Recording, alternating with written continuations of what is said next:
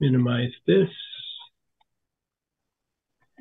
Yeah, that one ready to go. Okay, I think we just about here have a quorum. Let's see what else is here. Yeah, good. I haven't seen that uh, they've recommended installing 22H2 yet for Win 10. I don't know about Win 11, but uh, Win 10 they, they recommend against installing that. I've been uh, uh, uh I've had uh, 10 uh, available since it got released. 22H2? Absolutely. Okay, then you lucked out. I know that there's some people that have had some issues with it. Well, I, that's true yeah. every time there is any kind of an upgrade, and a lot of times with uh, monthly uh, patches. I've noticed that at least on one occasion on monthly patches where things uh, didn't work. Uh, particular well, OBS Studio did not work well in conjunction with one of the patches. We reverted it, and then we were okay again. But yeah, uh, the 22H210 uh, I have on upgraded at least uh, uh, a half a dozen different uh, uh, machine configurations. And have you figured out what the difference between that and the uh, previous version was? Next to nothing. Okay. It's uh, think of 22H2. There's no supposedly new features. It's in a sense like the old SR1s and uh, uh, SP1s, etc., etc. It's a, uh, uh, a collection of patches. Yeah, or yeah. a cumulative update. Okay. I thought that that's what they have been releasing all along was, was in, in incremental updates, and they rolled them together. Things didn't work so well, huh? On some machines. Well, I think uh, uh, those machines probably already had problems to start with. In fact, I'm in Florida uh, uh, right now working on somebody's machine. Okay. And I'm still here. All right. As long as, you know, you can tread water. Yeah. Uh, uh, mine is the problem with cold. Ah, okay. Yeah, it's going to be cold here. I know. I've, I've been outside today. Uh huh. Mm. Well, we, well, we have clients like in Fort Myers, uh, Cape Coral down there, and man, they had like two feet of water, and uh, oh man, oh man, you know, they had, uh, oh, they got sewage, and uh, oh yeah, it's uh, you know, uh, hey, know. Uh, quite a mess. oh yeah, Terry, hurry up and get over to Buffalo, New York oh, yeah, they might be moving the football game. I, I heard, or uh, thirty inches of snow. they can play in thirty inches of snow. It just it's a, all a ground game then. Yeah, but uh, yeah, Terry, where, where, are the people going to sit? You know, Terry can uh, uh, do his uh, civic duty and uh, help shovel it out. Yeah. you know. So I've been shoveling shit for years, so no problem. Okay, so what we normally have here is we have open forum at the beginning of the meeting, and then I have a small presentation today. It's not a very large thing, but it is a, a follow-on to the HDMI stuff that I had last month. I don't see Sanford yet. I hope uh, he got the uh, link. I did change his email as per his request. Uh, um, offhand, he was out hunting uh, uh, at least yesterday I don't know if uh, he's back or not. Was he hunting anything specific? uh, it's a, a, deer season. I don't know. Uh, I'm not sure if, uh, yeah, it's. I thought it was also uh, goose and uh, deer and some other things. Depends on what you're hunting with, too. Yeah. I don't know if he's one that goes out there and tries to make it a challenge with a bow and an arrow or not. I don't know what he does offhand. Uh, uh, mm-hmm. uh, between that and uh, mushroom hunting uh, uh, part of the year, who knows? Uh, I could have somebody identify some of the mushrooms in my yard. I get some really huge things that grow out of nowhere. yeah. Well, that supposedly means that you have good soil if you have mushrooms that come up in the middle of your yard. Okay, because that means you have a, a a viable biome in your yard. But uh, it's kind of a nuisance. These things come up with a stalk about an inch in diameter, and then they open up to a plate about this big. well, we get the uh, mushrooms with the mulch. You know, they love to pop up with, uh, you know, from the yeah. When I used to get mushroom compost, yes, and uh, horse manure, it was they grow in that too. This is right in the middle of the yard though, so I don't know where this is coming from, and it's not over my septic field either, so it's not coming from that either. Various places in the yard. They just happen to okay, we're going to come up here, and then for the next several weeks, I'm digging these things out and recycling them. Uh, animals don't eat them, so I'm, I'm assuming they're not edible. So. So who's got a question tonight? Anybody got a question? I already noticed, uh, I just showed you one of, uh, talked about one of my problems when I had both the Wi-Fi on and the network connected, not being able to access it. Anybody else got a question? I got one. Okay. So on an old XP laptop, Hmm. how do I find and copy off all the Excel files like Excel spreadsheet files, for example. And they're going to, on this laptop, I mean, I have many different folders and subfolders, and there could be Excel spreadsheets scattered all over the C drive in different places. Is there a way I can try to find them, yeah. just those XLS files or yeah. whatever? If you just want to know where they're at, no, I want to copy them off to a USB stick or something. Yeah, but if you just want to make sure you you got them all, because as you move them, you you you move them instead of copying them, and then they're not there anymore until you got none left. Uh, one tool that I've used to find things is a thing called everything.exe. That's I got that. Okay, well, if you have everything, you can do star.xls or xlsx, and it's going to show you every Excel file and it'll at least give you the idea how many you have. Right. And if you know which folders they're in, and you can click a sort by folder, you can you move them a folder at a time until they're gone, and then you've gotten everybody off. So, so I can only find them and copy them one at a time. No. There is two. There are tools that will let you find them and copy them. The question is, how do you want to copy them? Do you want to copy them to a single folder or do you want to copy it to a similar folder and uh, a nested directory the same way and make new directory names that are the same as your hard drive? It may make a file system that's too big to put on a uh, a flash stick if it's got too many nested subdirectories. Yeah. It no, not need, work. Yeah, you know, I don't need any of the directories or subdirectories. All I need is the pure XLS files well, you if if you made sure that there's no re, uh, duplicate names, you could use a, an xcopy command to copy them across, and it will and with the slash s, and it will find all of the XLSs and copy them to a target folder. So that would be using like that run command box. You would use a command prompt, and you would use xcopy.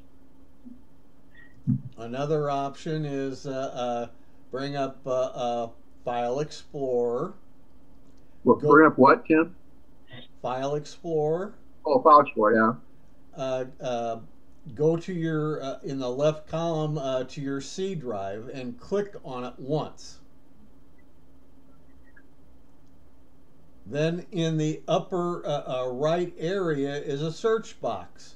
Put asterisk.xls there and it'll uh, search uh, the entire C drive for any such files and then you should be able to uh, do a control A and then uh, uh, point to whatever media or whatever it is you're going to uh, copy them to and do a control V. And he said he had XP, so I'm not sure if it's dependent on the indexing status of the hard drive or not. Uh, I don't know uh, for certain either, but uh, uh, that uh, it can be checked afterwards with uh, everything if he's Yeah. got it on XP. I don't know if it goes that far back. It did. I used to use it back then. Oh, all right. Yep. As long as you had an NTFS file system.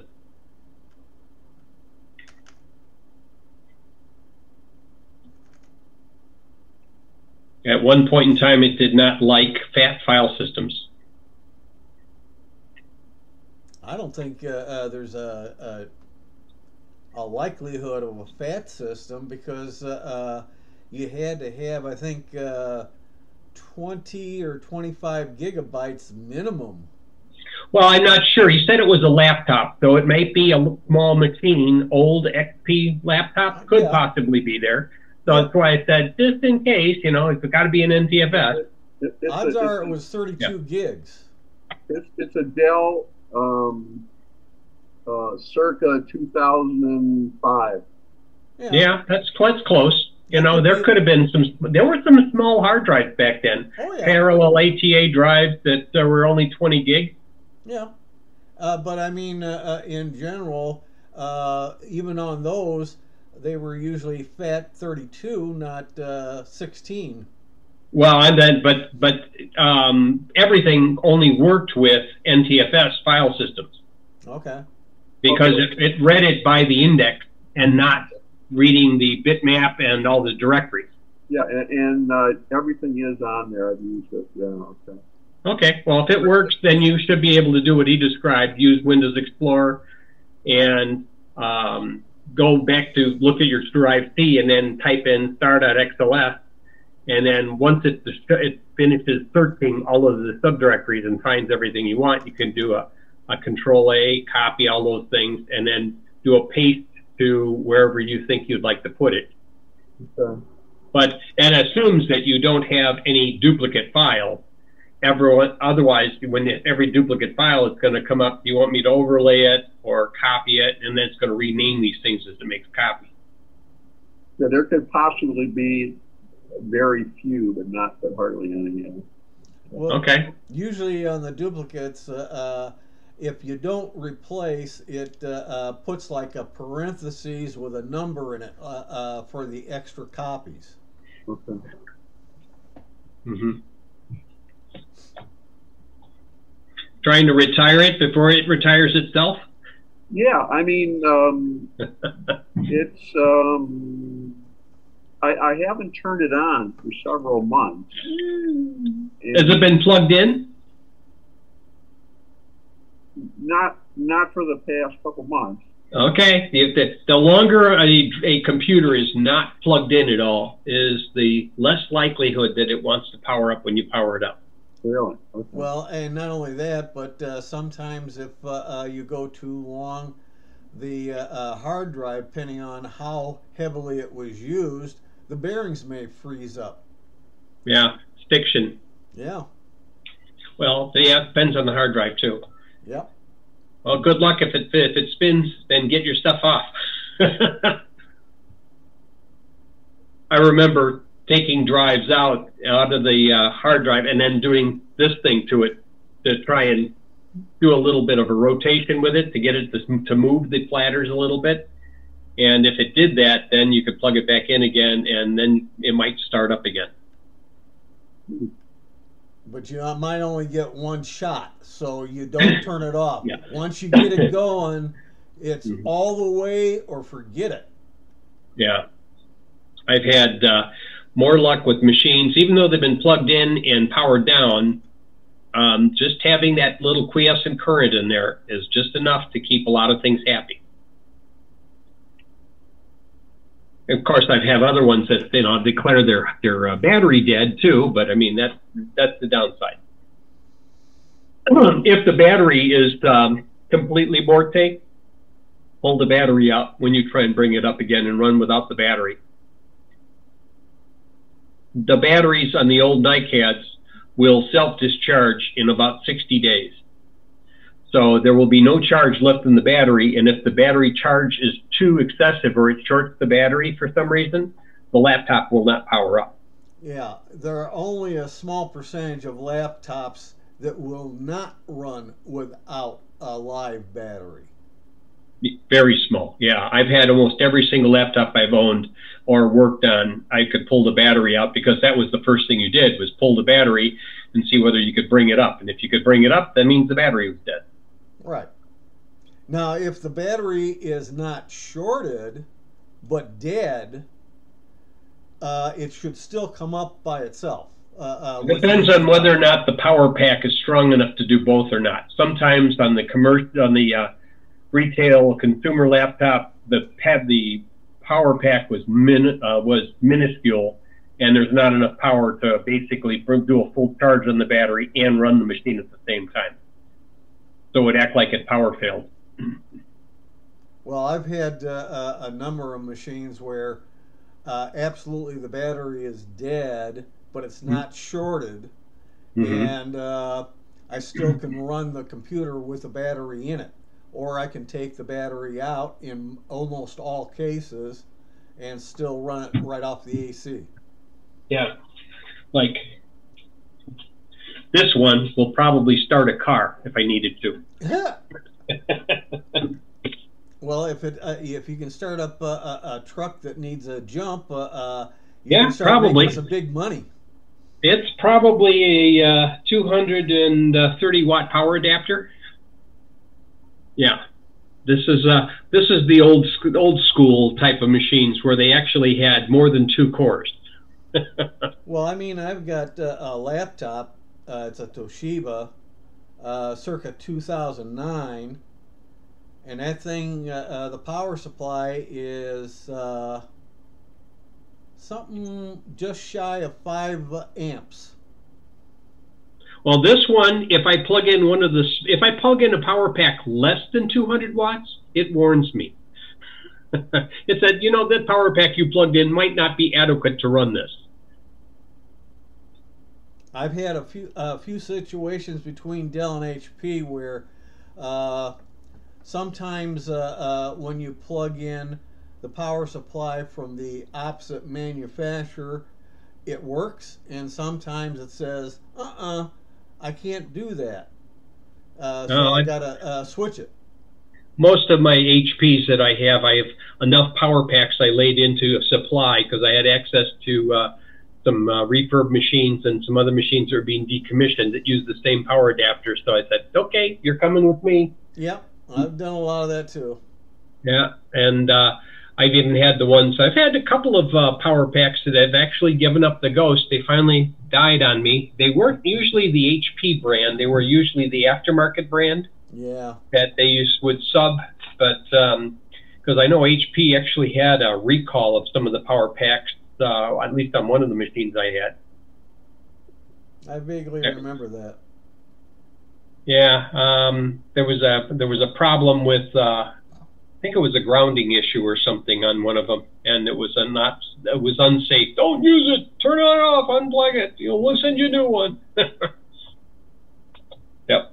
Other K. Other questions. Everyone else brought answers. Okay, I get to quiz you then. Anybody got their notice from Comcast that they need to upgrade their modems? Uh, I just power cycled my modem, so I don't know whether or not uh, it's any faster now. I can't really test it on this. This is all Wi-Fi, and it won't show me any speed difference here. But um, if I'm wired in, I probably would see a speed difference.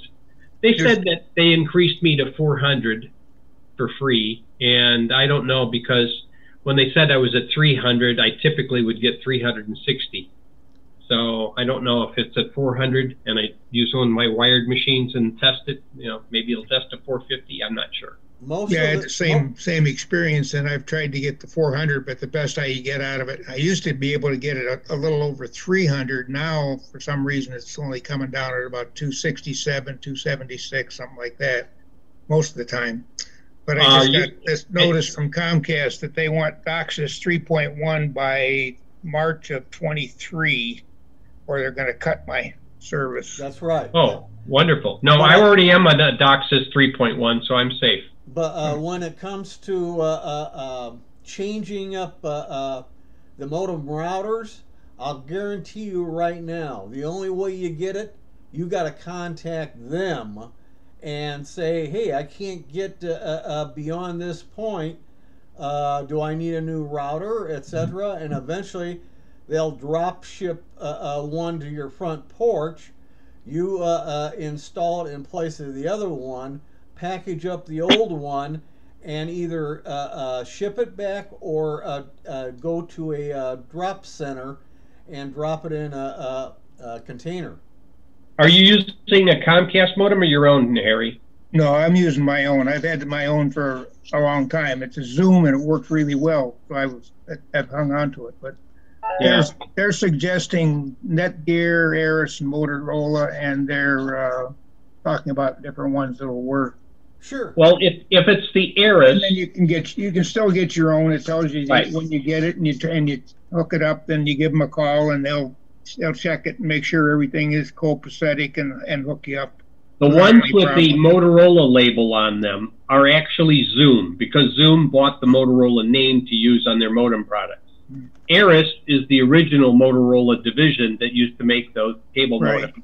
Right. So I I have the Arris 8200, which is uh, like it's got a you know full gigabit if it needs to.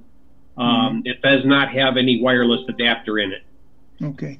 Well, they were recommending a Netgear, and I was looking. It looks like a, a Netgear 2100 would be about the a best option, and I think on Amazon it's about 169. Yeah, they it's usually between one and 200. That's right in there for most of the modems. Yeah, so there's no way to, that, that's mechanical function within the hardware, right? It's not something that software can upgrade.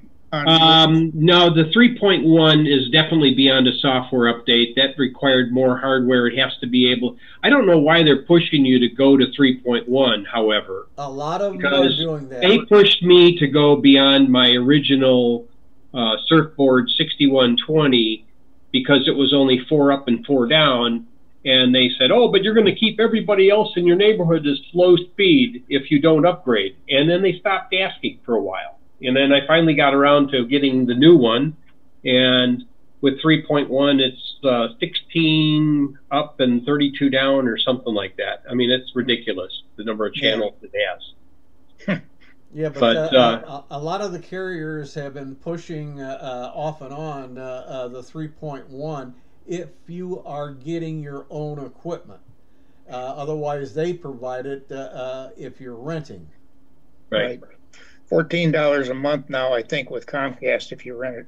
That would wow. be a surprise. That's that's just that's just for the modem, and if you want the combined one, I think it's twenty one. Jeez, rip. That's a rip. yeah, that's you know, I, I thought that a long time ago. That's why I had my own. Yeah, I'm wondering when the uh, the actual wired ones are going to support the two and a half gigahertz uh, wired Ethernet because I'm starting to see some of the switches show up with the uh, 2.5 gig switches now. Netgear is pushing it, and I'm sure others will as well. Because um, then I could do more with the wired side. I think the wireless side, just pushing a gigabit, is more, you know, um, ridiculous because you have to use so much bandwidth to get you know to get to those speeds. Oh, you can do two gig. Oh, yes, you can do two gig if you're 15 feet away from your router and you use all of the entire five gigahertz band. All you use 160 megahertz of bandwidth. Oh, you can do it. That's the default. They set up those things to do is 160 megahertz bandwidth, hmm. and then that wastes all of that spectrum from anybody else that's you know next door to you. I don't know how close your neighbor is, but I can see four neighbors from here no, I've got about 10 because I. yeah, the closer you are, the worse it is. And yeah. forget about 2.4 gigahertz. It all has to be five to run anything close to those speeds, or six if you're on Wi-Fi six. Yeah, I've got Wi-Fi six, but I don't have a. for the most part, I haven't had any real problem with it lately. Other well, you have Wi-Fi six. Did you upgrade your laptop or your Wi-Fi or your wireless adapters to support six? Um, I did the one laptop. I the iPads are running. I don't. I don't I just yeah, they don't normally support Wi-Fi six out of the box because yeah. that's too new. So right. they'll only do five gigahertz Wi-Fi. They won't do the six gigahertz right. at all. Yeah, yeah. When I run speed tests on them, they're always low compared to the the other Yeah, you'd have to buy and uh, install uh, uh, new Wi-Fi cards. I do that quite a bit. Yeah, it's just An Apple?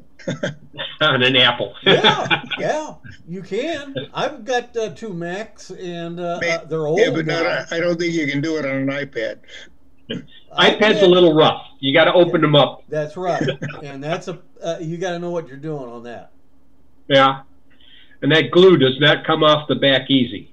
No, it doesn't, and you got to have a, a proper kit just to put it back together again. Yep. Yep.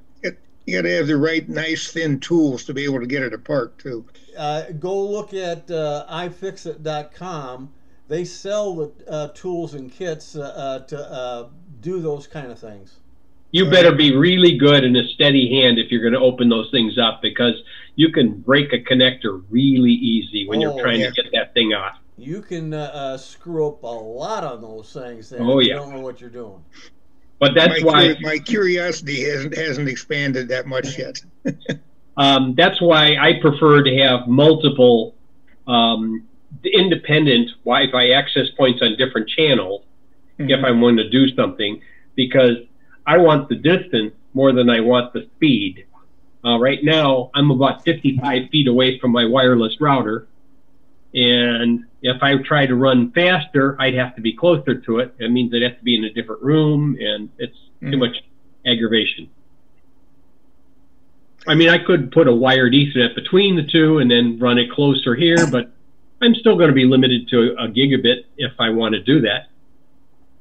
Well, I'm I'm pretty well limited with a 1,200 square foot house anyway, so that Okay. sitting up in the middle of the house on the upstairs on the first floor, and the basement works all right with the stuff I got. In fact, I've got I'm using the wired connections on the basement one one of them What- anyway. Yeah, one thing they don't tell you, however, okay, is oh you you're going at two and a half gig or whatever, you're going at a full two gig. Well, remember, Wi-Fi is a half duplex protocol. Every time it sends a packet, it's it's waiting for knowledge of that packet before it will free that space up. And I can send multiple packets without you know, and then waiting for acknowledgments, but it's I mean, depending on the, the protocol, but for the low level and the low level wireless, for it to talk to its access point from the machine, it's waiting for an ACK on each one of those packets coming back. Yeah. So it's basically half duplex. If I'm plugged into a full duplex uh, uh, gigabit Ethernet, it's full duplex. I can send and receive at the same time. Hmm. Okay, so it's got a little bit edge in terms of the latency on the actual raw packet going back and forth before the acknowledgement comes back. Right. So, and then if there's any sort of interference on your setup, then that just adds to the aggravation because then it's retransmitting a packet that didn't make it. With wired quick technology, there is no packet collision because the switch decides if there's going to be a collision long before you even see it. It Yeah. buffers your packet and then sends it as soon as the medium is free. But they don't happen to explain that on the why on the on the super fast Comcast commercial.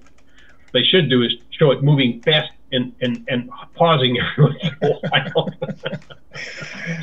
Which would look kind of strange when the guy gets into his starship and it starts Like a dotted line, right? Yeah, like a dotted line. That's a, that's probably a good analogy. It should be a dotted line, not a straight one. Okay. Uh, I mean, there's other issues that uh, I've had recently. I think Comcast had an outage not too long ago um, that affected the network portion, not just the physical portion. Because I had some stuff that uh, they're uh, they rolled out their new website and their uh, interface, the, the the web pages did not load properly. Have you? Was that uh, a couple looked- weeks ago? yeah, I think so. It's just, that, but because they, oh, we're we're coming out with our new, you know, you'll have to find a new way of doing stuff. And my wife was complaining because she couldn't find her email anymore, and they make it more difficult. You got to log into your account, and then you got to go down to a box and check email, which is harder on a phone than you might think. Yeah. Yeah, I know the email has been really bad for the first, oh, at least the first couple couple weeks of November. Now this week, it seems to have cleared up and it's it's running fairly fairly decent. But Yeah. I was getting my normally the way things come in. It, it takes a break at night when I when I do apparently because if I get up in the morning at six, there may be one or two messages, and then in a half an hour, all of a sudden there'll be a flood of other ones come in behind them. Uh-huh. But then it's it's like the nighttime. There's a gap in my email uh, Uh-huh. where just something isn't functioning and you don't Right. see any received emails and you know emails are coming in all the time anyway. right. Yeah. Um, I'm just a third-party email account which then feeds Comcast, and ah, I'll go back to it and look and see what time messages came in there, and then look at Comcast to see what time they came in there. And sometimes there's been a two or three hour gap on some of them. Yeah, where they're not listening to their own input ports to receive email. Right. I know that on my Outlook account, um, I've been kind of surprised. I think they're trying to push push people away from the free Outlook accounts and Hotmail accounts Mm, by allowing more spam to go to those now. It used to be pretty good. I hardly got any spam on my Outlook account. And now I'll have read my email, cleared all the inbox and everything else. And then by noon, I go and check and there's 50 spam emails or junk Mhm. emails already. And they're like, and I gotta, I have to look in the junk emails because every once in a while, a good one gets stuffed in the spam folder and it's not supposed to. yeah, and there's a couple of them like that. Um, that Woody account I've got, I have a problem with that thing. Always seems to want to go to the junk account, no matter what I've done. I've tried to whitelist it and everything else, and it still happens occasionally. It doesn't happen continuously, but it will Uh-huh. happen. Well, I've been fortunate. My Woody is still showing up in my Yahoo box. That uh, that one seems to make it pretty regular. Although I did see an Ask Woody free. One of the I get one from the paid, one from the free. I got two things coming in, and sometimes the paid comes into my inbox, but the the free one ends up in the spam folder. Mhm. Somebody used the magic one, so it should be. well, if you just use the words over 18 for any reason, it usually triggers a spam filter somewhere and immediately sends it to spam. There you go. There was over 18 representatives for Illinois House involved. spam filter. right. Over 21 is the other one that gets caught too. but um, no, I, I I actually have rules that I set up in my Outlook inbox, but unfortunately, if I don't have my uh, client up and running, uh, it's not processing the rules. I wish it would process them at the server end, but it's not. Hmm. It's probably because I don't have a paid uh, Yeah, account. that's That's probably why. If I had a paid account or something like that, then they might come through and say, "Okay, you know, we will uh, we'll let you do this." Because with with um, commercial accounts, I used to do that all the time, and a lot of my junk would be filtered out. But I found two different kinds of, of messages that I've been filtering off. One of them was my old filter that when it came from certain locations and China sources, it would automatically delete it. The other one, uh, this new set of junk mail appears to come from uh, compromised Azure servers or accounts on Azure servers from Microsoft, and they almost always have an email address that says office at and then fill in a domain name that they've randomly chosen. Hmm. So I started deleting everything that comes in with office at and made a rule for that.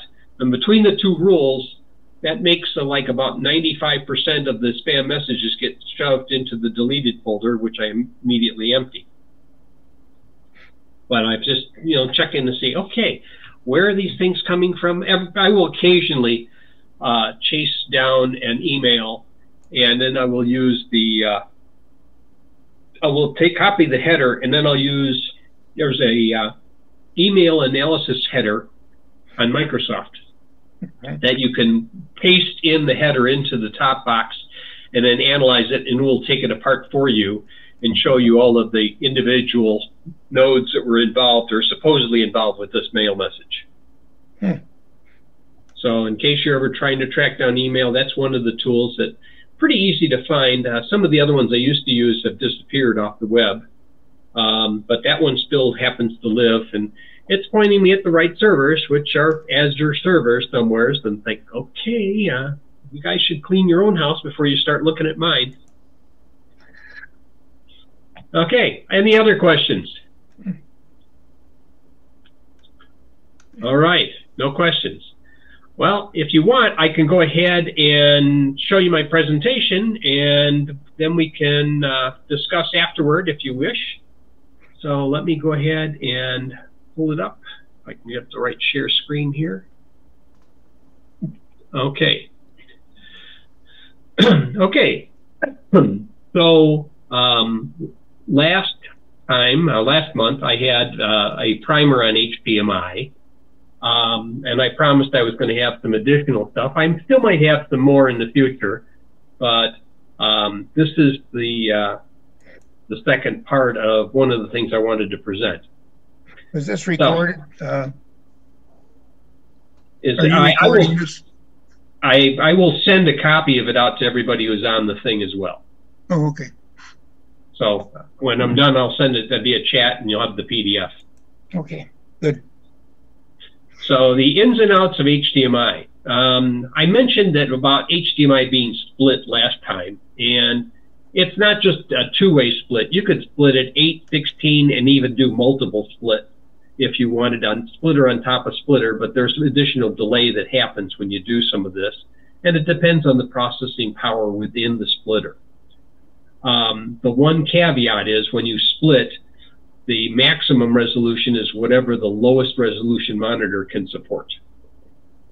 So you can have higher resolution. It's just that make sure that the the the the the, the monitor with the least resolution isn't one of the contenders on what you want to split to. Um, so splitting is basically downstream. Okay, so I have a source and I want to split it to multiple destinations, multiple TV monitors. That's what a splitter is used for there's another thing called a switch. And switches are used for the input side.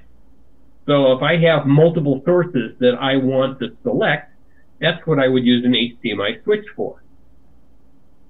So um, you can get switches that support 1080 and 4K and, and whatever, but the higher the resolution switch, the more it's going to cost.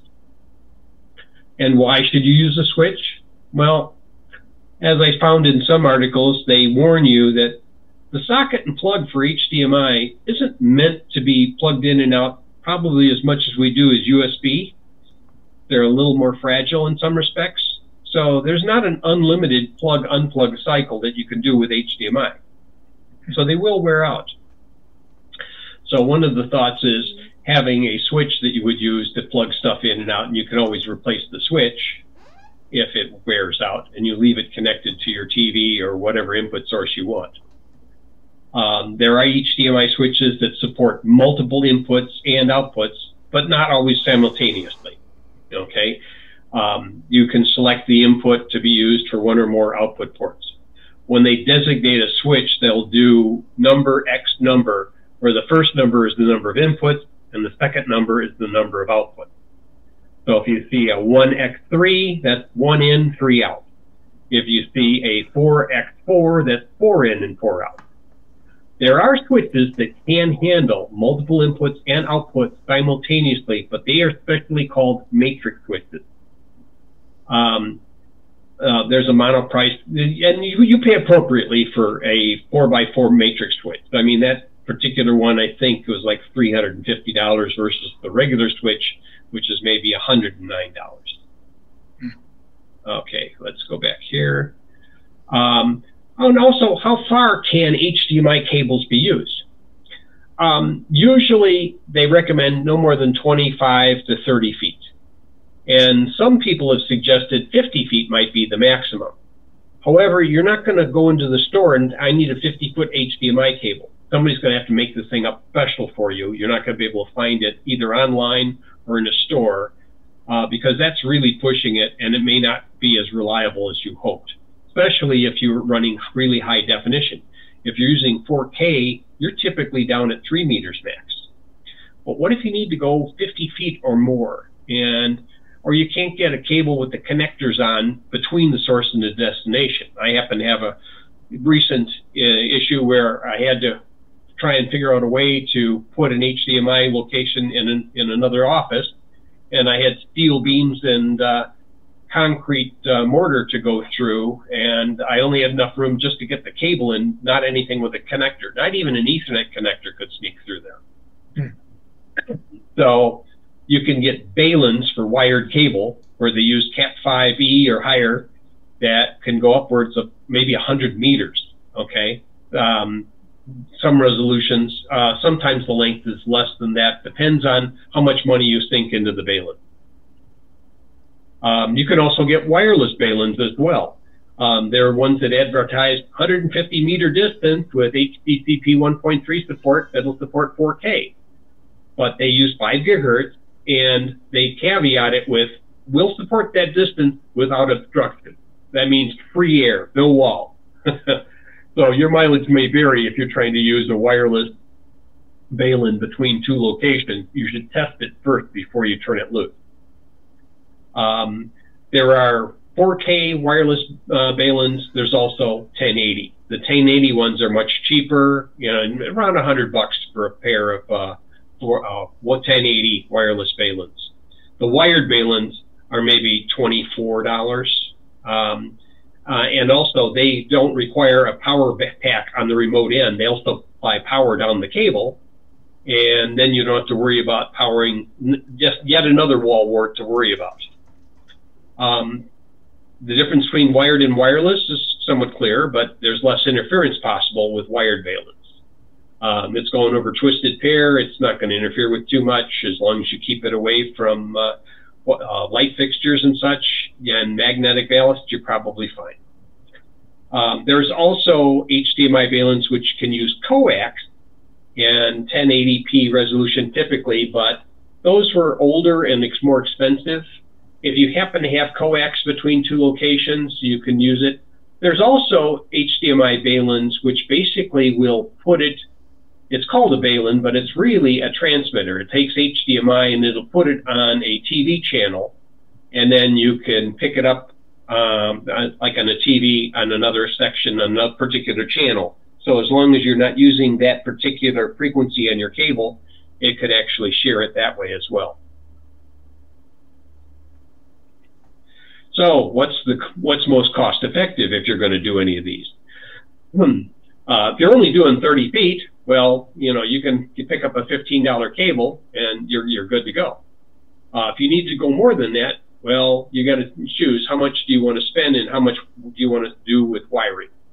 If you want to do wired baluns and you can run the wire yourself and then terminate them, terminating isn't that hard as long as uh, um, I don't like terminating Cat5 cable into the plugs. I find that's usually a little bit of a problem trying to get all the wires lined up before I push the squeeze and crimp it down.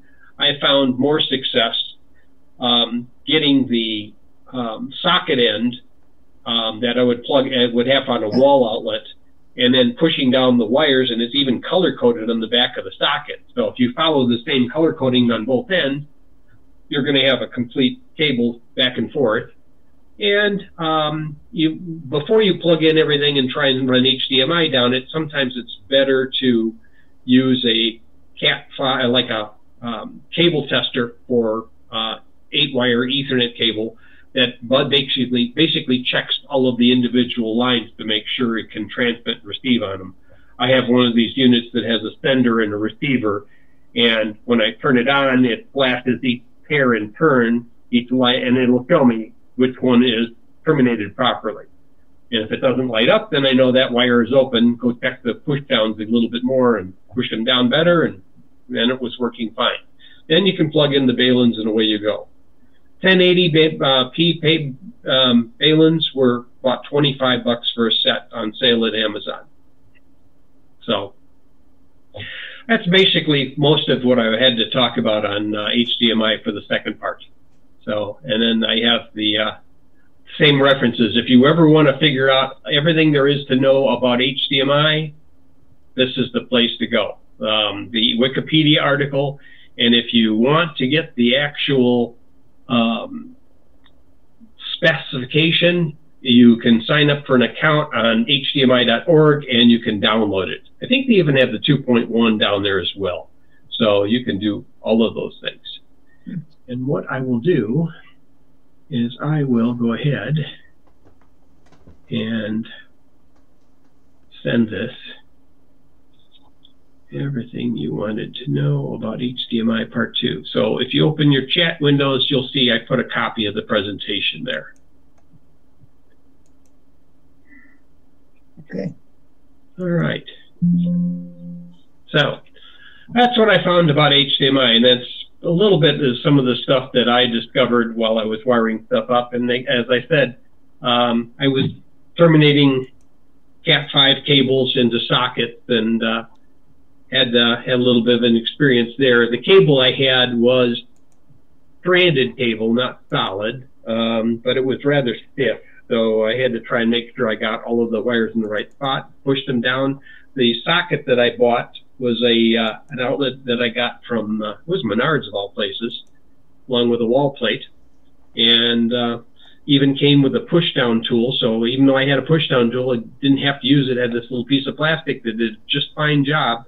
Push the wire down onto the on the connection and let it rip.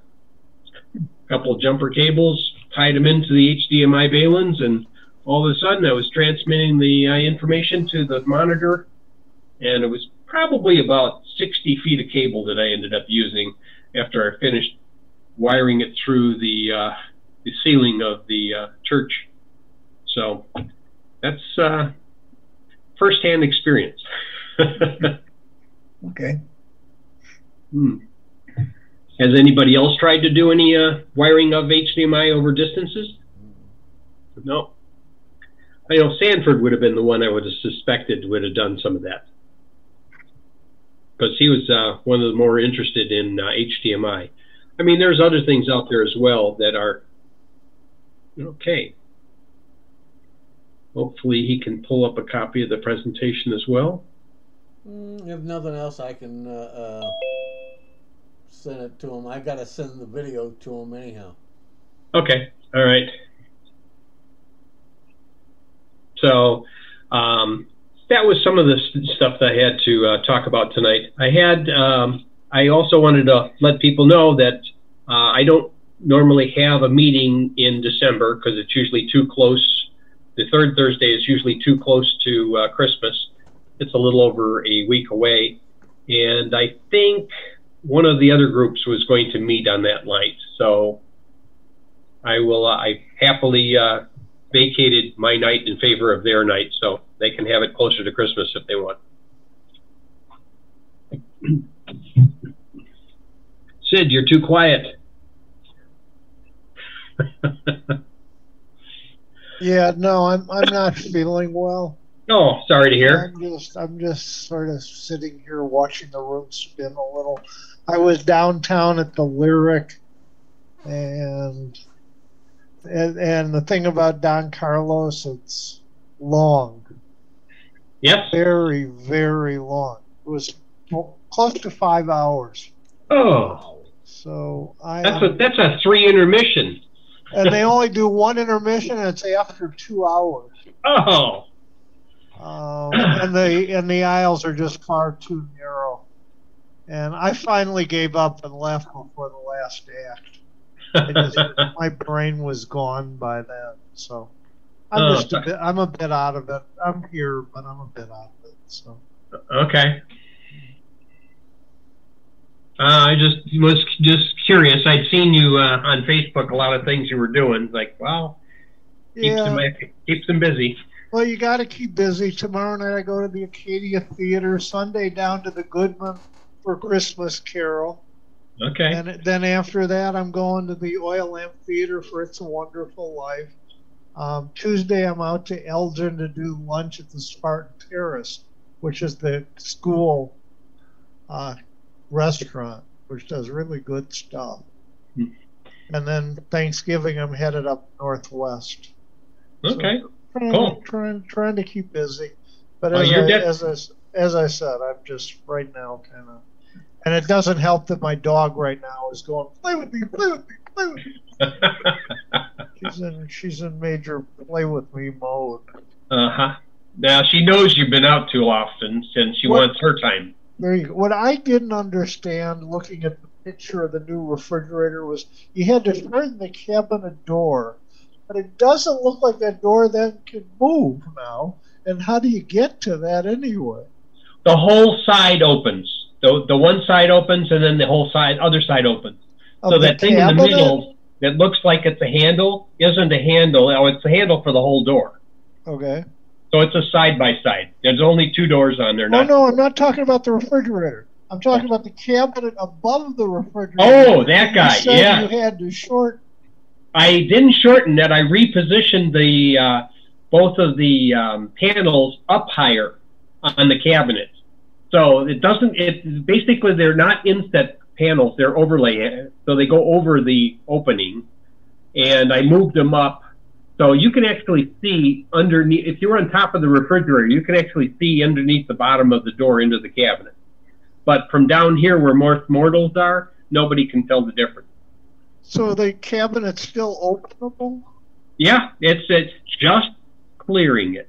Yeah, Okay. clearing it. I mean, it it's if if it, again the humidity increases, it'll start to rub. Okay. It's Okay. that Alright. close. Yeah. Yeah, because it looked like there was a bump up part at the front of the refrigerator, and looking at that cabinet door, it didn't look like it could get past that. When I first pushed the the refrigerator against it, it pushed against the door. So it that's that how close. Um, there's a little bit on my Facebook story. Originally, when the previous refrigerator came in, it also was too tall, but it was too tall on the back, and it wouldn't go underneath the cabinet at all. And of course, the cabinet above the refrigerator is usually relegated to spirits of all size, of all kinds.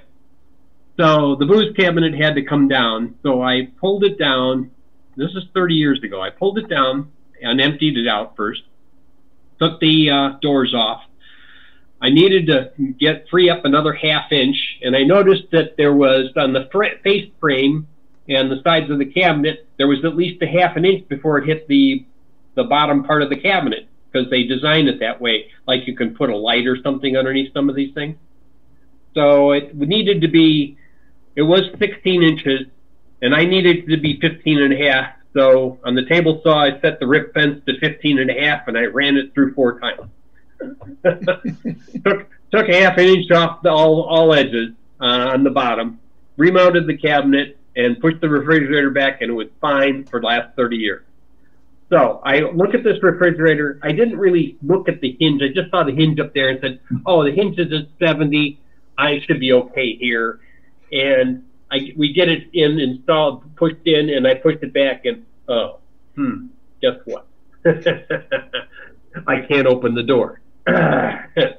so then I start thinking about it. Do I want to pull it down and try and shorten it again, or what am I going to do here? No, I need. Oh, there's room here on the door. I bet if I took this door off, I could move it just up enough. Do I have three quarters of an inch? Just barely three quarters of an inch. Uh, the one side did rub a little bit on the soffit because the soffit isn't exactly perfectly regular. Uh, the other side cleared it pretty good. But uh, it's really hard trying to screw the put the screws back to drill a hole and put the screw in because those hinges are spring loaded and they want to they don't want to sit flush on the surface when you're trying to drill a hole. So you got to push really hard and then try and drill one hole, run a screw in you can hold that one flush, and now you can put the rest in. So it is functional again, and the door's open, and I can again. I didn't even have to empty this, empty it this time, but I also toyed with the idea of pulling the entire um, cabinet down and pushing it back so it's flush with the previous cabinet. And then the only way to access it is to go up there and uh, with a step ladder to put anything in and take anything out.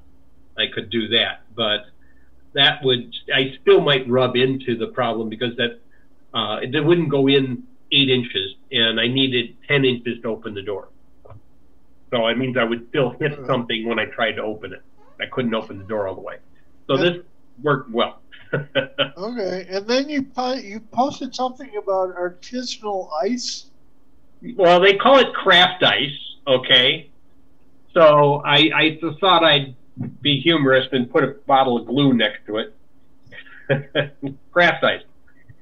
Well, that's what they call it. They call it craft ice, but it's not really craft ice. It's decorative ice that comes in almost large round. I'll go get one. I'll show you.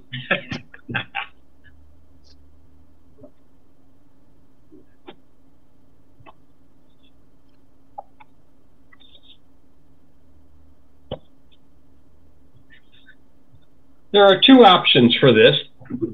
There is three and six. the you can see it's only rounded most of the way, and then it's flat uh, on that side. If I try to do it some other way, it's not quite flat. But it there's a there's two modes of operating. Um, three, which allows you to do clear ice cube, or clearer ice cubes, or six, just make me the dang ice cube. so six is make me the dang ice cubes, although it's only made three ice cubes in the approximately 24 hours I've had it on. But I'm not sure if it takes priority to the front ice maker, which makes small cubes that you can dump into your glass easily. These are supposed to be for drinks. So because they're bigger, they don't melt as fast. And because they don't melt as fast, they don't dilute your drink.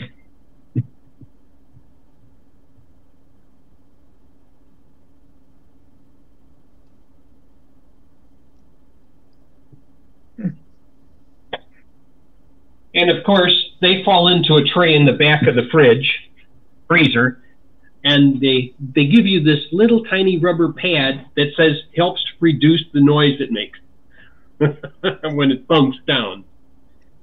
Because I did, was hearing it make noise, but um, the nice thing about this, and unfortunately I can't show it too well on my computer because they don't have a computer version of this they only have it running as an app on your phone, but um, they will.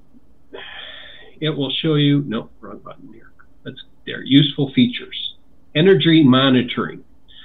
So it's telling me right here that so far this week it has used 1.5 kilowatt hours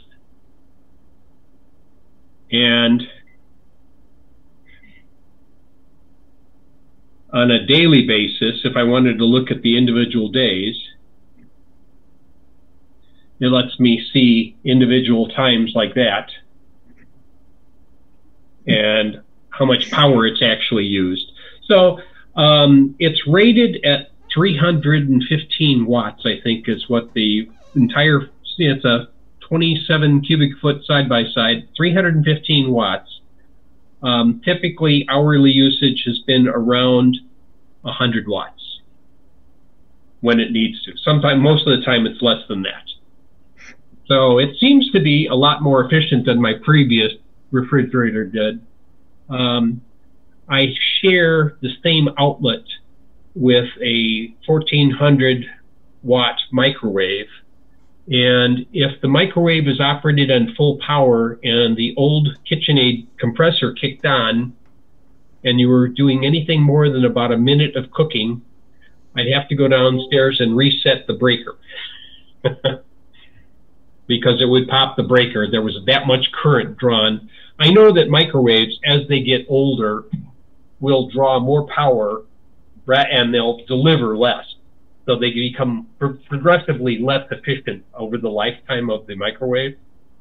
So if you take a brand new microwave and you take your standard whatever 16 ounce cup of water you're going to cook and you put it in there from two minutes and then you you you uh, put it yeah put it in there for two minutes and then measure uh, what the temperature of the water is after two minutes. That's your standard when you first got the microwave. Do it again five years later if you still have that same microwave and see how long it takes to get to that same temperature what I used to do in two minutes now takes me two minutes and 22 seconds or two minutes and 30 seconds. And that's just because I've had this microwave. It's actually the second microwave I had. They're both the same model. That I was able to get the same model. It's a Panasonic inverter technology. I have one. Yeah, I, I like that model. Uh, the first one I had, the micro within five years, the microwave um, tube itself, the magnetron, started running off frequency, and as a result, it was generating a lot of heat without delivering power to the thing you wanted to cook. So all of a sudden, you feel the back of it, and it's like you can burn your hand on the back side of the case, but it wasn't heating water. That's how you know the microwave uh, magnetron has has developed a parasitic, and it's running on the wrong frequency. A who? A parasitic. Huh? It oscillates at the wrong frequency. It's supposed to oscillate at 2450 meg- megahertz or panel 10 Wi-Fi. that is the frequency a microwave oven runs at to heat water. So there's other frequencies that will also heat water. Um, there used to be, oh, I want to say 60 years ago, there was some of the original Amanas that ran at 900 some megahertz, because that's the other frequency that water will vibrate at. But it wasn't as efficient, and then they found that 2450 worked so much better, and you can you can build magnetrons that always operate on that frequency because it's based on the size of the magnetron cavity. But the, the, the downside of that is if it oscillates the wrong frequency, it can oscillate as a harmonic of the 2450 and not do what it needs to do. And that's what happened to my first microwave. so, and at the time, um, they uh, probably still don't. They wouldn't sell you the magnetron tube, even though you could take it in, have somebody replace the magnetron under warranty, and you'd have to pay for the service to do this, which is probably equal to what the magnetron tube cost. But I kept the other one as parts just in case I needed it. And as long as I keep it as parts in the basement, this one will never fail. I keep telling it, it's your brother is downstairs. He will take your spot from you. uh-huh. That's like I keep a spare turntable still in the box in the basement. Just in case. Yeah. Yeah. I have over I have over a thousand albums, so I didn't want to take the risk. Little did I know that vinyl would get popular again. Oh yeah, yep. There, it's coming back again. Yeah, some people think they can hear the difference on it. I don't think they can, but let them believe what they want. It's yeah, those I, are people that'll pay extra for vinyl records. Then one of, one of my ex brother-in-laws is a sound engineer. He's mixed albums for people like Sheila E. And his uh, he was early on, he would agree that vinyl was better, but he said it was because they had to learn how to properly mix for digital, and they were doing it poorly at first. So the vinyl sounded better. He said that's not the case anymore. Hey, Sanford.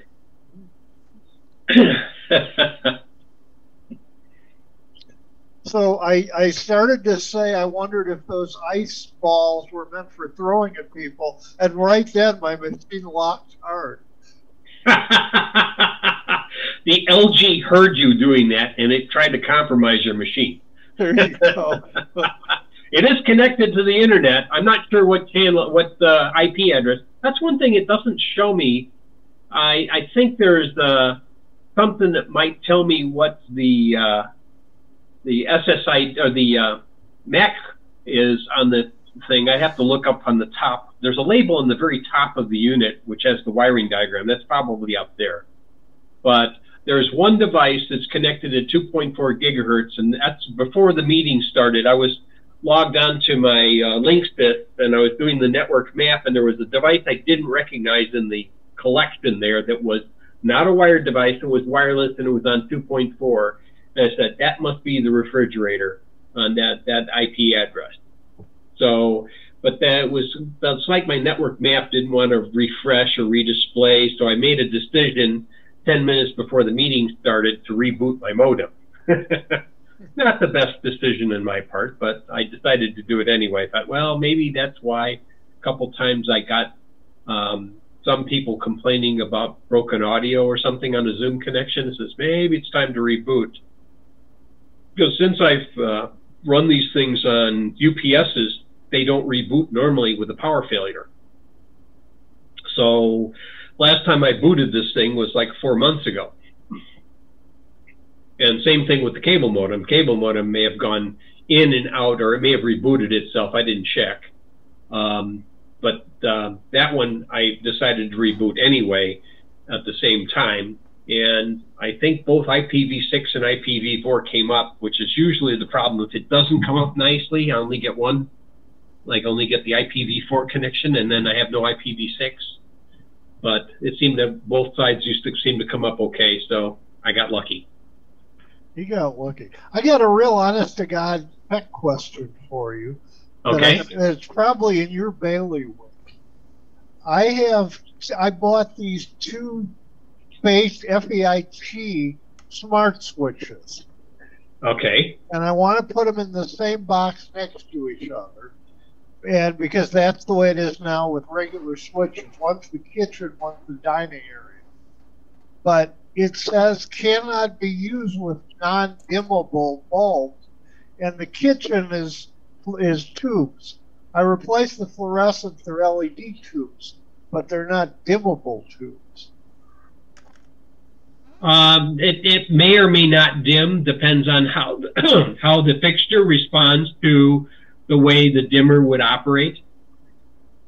You can try it. I mean, it, it, usually it's not going to. It's either it's it's either going to flicker, which would be objective objectionable, or it's going to partially dim. I mean, I use dimmable bulbs and non-dimmable bulbs on dimmers. And I've done that for years. Okay, and they'll dim somewhat. Usually, you don't have a linear control of the dimming.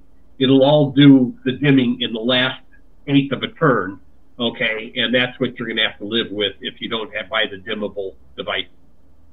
Even then, the older style dimmers, you if you want to dim the new LED dimmer bulb, you you, you could actually replace the dimmer switch in the wall as well to make it work with LED dim because the difference in halogen dimming. Okay. Yeah, I don't want the light, the kitchen light to dim at all anyway. I just want to be able to turn it on and off. It'll work fine. You, whether you use dim or non-dim, on and off will work fine. Okay, because the package specifically says won't work with non-dimmable bulbs. And I found that you know that's that's it, they don't want to take a chance of having something burn up because if you were to set it to half, um, there are some modes of operation where the LEDs won't function correctly at a lower line voltage and for a non-dimmable bulb, and it could overheat. If the switching regulator inside of the bulb doesn't run at the right frequency, you have the same problem like I had with the microwave running at the wrong frequency. Generates uh, most of the power goes into heat. The bulb is designed to run at least 85% efficient, and when it uses when it's less efficient than 85%, you notice that the outside of the bulb gets very warm. In fact, I've burned myself on LED bulbs before because the bottom section where the power supply is gets so dang hot. I think um, this one light fixture, like you said, you replaced the tube with the LED tube.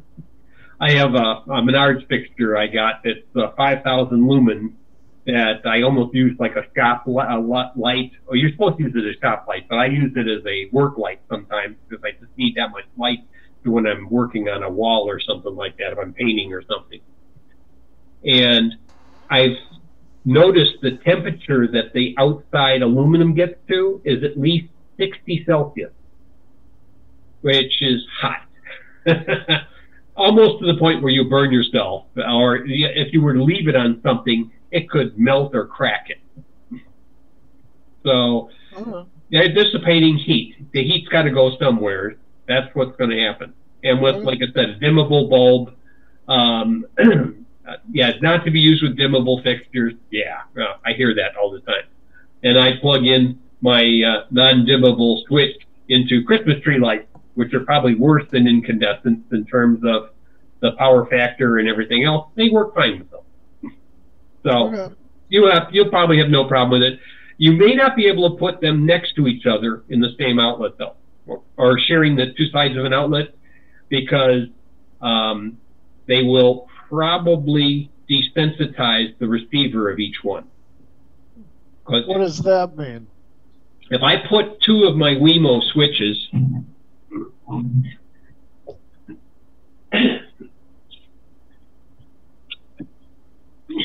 there's two Wemo switches. If I put them into the same outlet strip, they're too close to each other. When one transmits, the other guy's receiver gets squelched because it's too much power. That's the six inches away from it or whatever the distance is. Anywhere on the same outlet strip, I cannot reliably switch both of them on and off. If I put them in separate outlet strips and separate them by several feet, and even though they're connected to the same physical AC source, they work fine. But there's there's a there's always a problem whenever you have a uh, Wi-Fi devices. If you have two Wi-Fi devices, if I had two phones and I put them real close to each other and they're both trying to run Wi-Fi, one is going to affect the other. And it's like it's again, it's called desensitization of the receiver. The receiver has got to be able to receive signal um, such that the signal to noise ratio is above like 70 minus 70 dBm um, in order to, for it to properly decode uh, any sort of speed at Wi-Fi level. If you're willing to go down to minus 84 dBm, yeah, you could run, uh, you know, maybe six megabit on 802.11g, but or A. But uh, if you want to run 54, you want to run 802.11n speeds, 180, you're going to have to have these things separated. And that's one thing they always, they should warn everybody you know, you can't put everybody's laptops right next to each other. It ain't going to work unless they're wired. Wireless, they will interfere with each other. And, and because, most, yeah, go ahead. Most of these devices only run at 2.4. yeah, they're running on 2.4, but they're also they may be running. They don't they don't need much more than uh, they could run on 802.11b if they wanted to. But I think these are 802.11g. So that means they can run six megabit. So the six megabit would give them the largest range. And because there's not a really big antenna in here, I don't even know if there is an antenna. I've seen some of the breakdowns. There may be a small, but I don't know how the antenna is oriented. If it's vertical or horizontal, depending on how you plug it into the outlet, that may change how well it can receive from your access point or your router.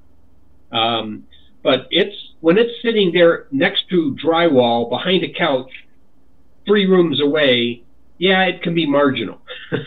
Sometimes to make sure I can switch the things, I will put them on a uh, on an extension cord, okay, and then it'll peek out around the bottom of the couch, and oh, it can reach it there. But I had, well, I even had a couple that were maybe six feet away, and one would interfere with the other a little bit. Sometimes I would look at my devices and, huh, how come I can't see the Christmas tree light? It doesn't show on. It doesn't show us online. Why are you offline? Well, he was offline because it was too close to the other device.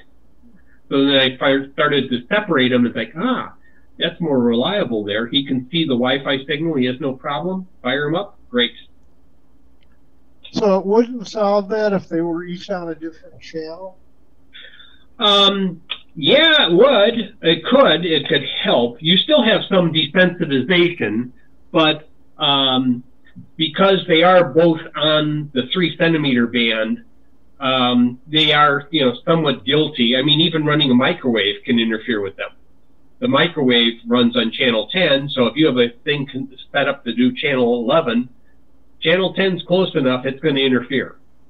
Um, I've seen desensitization across the entire band, just having channel one and channel 11. I've seen some desensitization depending on how close and what power you're running. If it's oh. running full power, it's running the full 50 milliwatts that it's allowed to run. That's a lot of power, and it's trying to decode microwatts coming back in. So I mean, there's there's orders of thousands of difference between the transmit and receive signal between the two that it's trying to make up for and trying to communicate with. Um, now, if they ran on different bands, like 5 gigahertz and 2.4, no, they have no problem. Or but, you put an insulating strip between them out of metal, maybe. Well, yeah, if you put something else, but then you may shield some of the signal between the two. Or between it and the access point. You're going to make sure they can both see the access point. And uh, there's uh, there's the old um, interference problem of the man in the middle type of thing, where uh, if you have um, a signal, an interferer um, on on I can I can have the access point in the middle. I can have my two people on either end, and the one guy at the one end can interfere because he's transmitting to the access point at the same time the other guy wants to transmit, and whoever's got the stronger signal to the access point wins. So one guy ends up doing retransmit, retransmit, trying to get his packet in, and hopefully the automatic back off interval with Wi-Fi will handle that when it wants to retransmit the packet, and it'll eventually get in. But I have uh, I've dealt with interference limited Wi-Fi deployments, and anytime you have uh, any sort of significant retransmission going on above five percent, you usually have a horrible Wi-Fi experience. 10%, you almost can't use it at all. Hmm. But uh, 5%, you'll you'll notice that It'll be laggy. You, you, things aren't responding. Um, not a good experience. Best to have it though is that's why they try and organize on 2.4 using only like 1, 6, and 11, and and try and organize it so I don't have uh, try to make it so that I don't have another access point on the same frequency adjacent to any access points because there will be a no man's land between those two access points on the same frequency at the midpoint between them. Assuming they're both running the same power and they are using omnidirectional antennas. I mean, the ways around it is to use directional antennas and other things, but not too many people are into uh, beamforming on 2.4 gigahertz. I'm sorry, did anybody not understand what beamforming is? beamforming is a type of Wi-Fi technique that came into with 802.11 uh, AE, I think, AF, um, that um, the access point and sometimes the receivers can change their polarization of the Wi-Fi channels and the antennas this assumes you have much more than two antennas involved as well, um, and two more than two spatial streams. But you can change the polarization and you can change the direction that your transmission is actually going in. So you're actually just doing like an old, uh, like an old um, TV antenna with a rotator. You're able to spin it around and you're able to aim it at the access point, and lot. And this is all done electronically. So you can send your signal toward the access point instead of sending it through the wall behind you that's not going to get to the access point. But that's what beamforming is supposed to do in theory. And um, they use it more in 5G technologies and such. So when you're a mobile device on a 5G tower, it's actually steering its signal toward you at the direction where it received it from. So that's how you're able to communicate and you're able to roam. And it keeps track of when people are moving and where to hand it over to the next person. Yeah, the uh, the original devices with beamforming tended to not work. Uh, they there were lots of reviews of them, and they did not hand off properly. They did not lock in properly. Evidently, the newer stuff is better at it and evidently there's still a bit of problem with handing off if you're moving in an office between office offices. There's still issues with the handoffs. Well, a lot of it depends on the, uh, the, the the restriction on those is did they even set up and do a proper site map and site walk before they installed all the access points? because a lot of places will just go ahead and yeah, put one here, put one there, put one over there, you know, and not think about where they really need to be installed, and they don't want to pay for the site survey because somebody's got to come out and, and walk through the entire office. Um, and the other thing with offices is they never stay the same. They're always changing stuff. They're taking this wall down, they're putting another wall in there. Well, that inter- depending on what that wall was made out of, is it made out of fabric or is it metal inside of it? Um, that metal will affect how coverage works. um, Wi-Fi will work, hit an edge and go around it, depending on how sharp the edge is and what the material is made out of.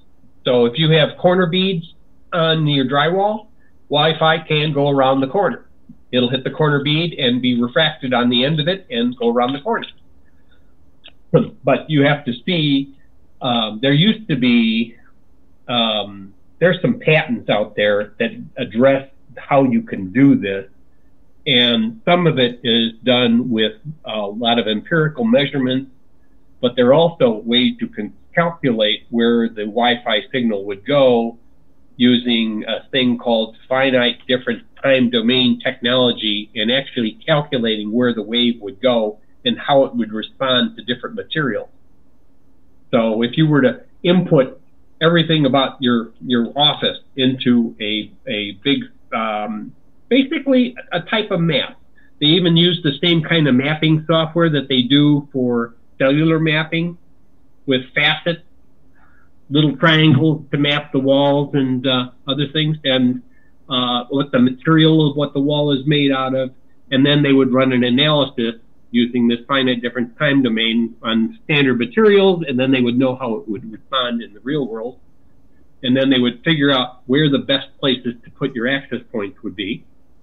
Then you go ahead and put them in and see whether or not it works and verify it. But a lot of people do not go anywhere near that level of work to do a proper site install. They just install these things all over and then expect it to work one of the worst places to do that with is a warehouse like Home Depot, where you have these giant metal racks and big hunks of metal and other stuff. Yeah, I used to do everything to work. I know, I get it. I used to do small manufacturers, and they'd power up the heavy equipment. Yep. Yeah, and as soon as they did, signals would get wonky in a hurry. How do I know that one of the access, one of the SSIDs at Home Depot is called Orange 5? yeah, they had uh, multiple SSIDs and they insisted on wanting to run everything at 2.4 gigahertz. The other persons that were doing a lot of 2.4 is Walmart. Your typical Walmart has 116 access points. and it's they're all laid out in a standard pattern as well. And at the same time that they're trying to do all the Wi-Fi, all of the wireless security cameras are also on 2.4 gigahertz. so that causes additional headache. Well, they're all made in China also. Uh, the back then the uh, access points weren't. Uh, access points were made in the U.S. for the longest time, and then they finally moved them to Taiwan and then to mainland China. They were designed in the U.S., however. You know, I was thinking. I was thinking on your refrigerator thing. What we need is a refrigerator TARDIS. So it's bigger on the inside than on the outside. as soon as they figure out how to do that, then they'll figure out how to pull power from that other dimension as well. you won't have to worry about power sources in your electric car. It'll run forever. Uh, Sanford, I'm not sure if you can see it in the chat, but I sent a copy of the presentation out. See if he's responding. Uh, I haven't looked in the chat yet. Sorry. Okay, I had I, I ran this presentation earlier. It was short, but uh, I'm sure you'll be able to get something out of it if you take a look at it. Absolutely, I'll I'll be able to get it back um, uh, when I rewatch this video later on after I get it from Tim. Uh, okay. All right. All right. Yeah. But he won't. But he won't see it in chat if he didn't sign on before you put it into chat. He'll oh, he won't chat stuff after he signed on. Oh, in that You're case, right I about that. And plus, I'm also on a tablet, so I'll just get it from you later on. Okay, I'll email it to you. Okay. All right. Thank you. Yes. So that way, you'll be can you re can you resend it, uh, Ed, or no? Yeah, I will resend it. Yeah, because I had to bow out for a few minutes. So. All right, hold on. Let me do both here. Let's see. Where is the thing I'm looking for? That's it. That's it, chat. All right. And click there, my computer. Good. And there it goes. Okay, that's being resent. What they what they need is a way to pin something in chat. So Would be nice. Come in. Yeah. It would-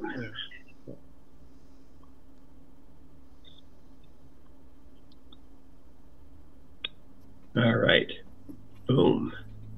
By the, it. by the way, back back to those frequency things. In the in days of old, I had an old Sirius XM receiver, and if I turned on the microwave, forget about it. The completely.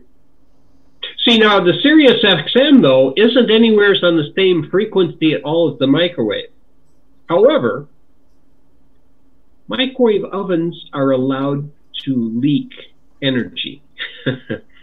In fact, they used to have these things you could purchase that you could put around the end of your microwave oven door and see whether or not there's any significant leakage, and you could measure it. I don't think they sell them anymore because I think they're afraid of what people might find out is actually coming out of there. I think if you probably had the right piece of aluminum foil bent into a U, you might actually see it start to spark on the outside of your microwave. um, you're allowed to leak, oh, probably at least 10 milliwatts out of a microwave oven. Now, granted, when you're running your Wi-Fi in your laptop, you're only transmitting with 50 milliwatts. So a 10 milliwatt source is definitely going, and it's not transmitting packets. It's transmitting continuous wave. So it's just a solid blanketing signal that interferes with anything you're trying to send back and forth. And when you're receiving on Wi-Fi, your receiver on 2.4 gigahertz isn't one channel. Five channels wide. the signal itself is five channels wide. So at 1, 6, and 11 are little areas of complete usage of the band. You're actually using all 11 channels, but you're using them as a third of a band, third of a band, third of a band. Because that's because the channels are spaced so far apart and you're um, you're using 20 megahertz wide signaling. So that's a problem. um, in fact, you could use um, a different scheme if you're willing to uh, tolerate uh, some overlap and interference between access points. The other um, frequency reused is 1, 4, 7, and 11. You could have four channels of reuse. If you can do four channel reuse, you could basically map the world. That's idealistically what you would like. If they just opened up the band on on uh, 2.4 to use all 14 channels like they're allowed in other countries, um, we would be better off. But um, 1, 4, 7, and 11 can be used between any two adjacent channels. There's a 10% chance of interference. So if you can make it so, oh, this is one, this is seven, um, this is four, this is 11, and then hopefully they don't interfere with each other, then you basically can map out what you need to do. Now, if you're doing five gigahertz, this isn't a problem because five gigahertz, if you're using 20 or 40 megahertz wide spacing, you have a dozen channels to play with up there. You have the eight channels that are below uh, on the low power of the band, which only allows 40 milliwatts. And then you have the ones on the quote outdoor section at the top end of the band. There's another five or six up there that can be used. And, and you can run up to one watt up on the high channel, but that's supposed to be for outside use and you're not supposed to have it near your eyeball. so when you have an access point that's normally running on the high channels, like above 163 and such, up 159, um, they don't run one watt they're still running the 40 milliwatt max. But if you were outside and you had type approved equipment, you could run a full watt. And uh, any of the stuff in between, there's uh, like 24 additional channels that are in between the low end of the band and the high end of the band. Um, they can be used as well with the caveat if you see radar on these things, you must leave the channel immediately.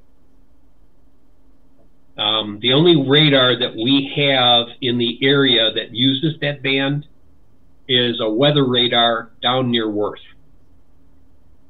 And I'm not sure if that's channel 110, um, but there is a there's a channel down there. But if you have a access point that can be configured to use those channels, it knows about radar avoidance and will avoid those channels if it sees radar in it and, and do and broadcast a I'm switching to this channel and then no longer use that channel again. The other thing that's bad about uh, radar avoidance on 5 gigahertz, it also happens to be um, if you see radar in the channel, it might be a Patriot missile targeting battery which would be something else that you would not want to transmit because some of these uh, uh, anti uh, the the, uh, the anti-aircraft missiles have a feature called uh, track on jam. So if they think you're jamming, they target you. oh, jeez. Wake up! Uh, that's one reason why five gigahertz is not allowed at all in Israel. So yeah, if you have five gigahertz, you're not running anywhere near uh, in in Tel Aviv or uh, Jerusalem. Nope, definitely not. You know, Ed, you were talking earlier about Wi-Fi. I had internet blockage, and I and um, uh, you know I had AT and T uh, UVerse, so I had to switch to uh, Verizon uh, because uh, to avoid that or whatever. So uh, you know, you were talking about you had no Wi-Fi or whatever. Uh, I, I, had internet blockage, so uh, and I don't know what's your uh, you know your situation. Well, it's just that the I haven't my my uh, router hadn't been rebooted for four months. Oh, I see.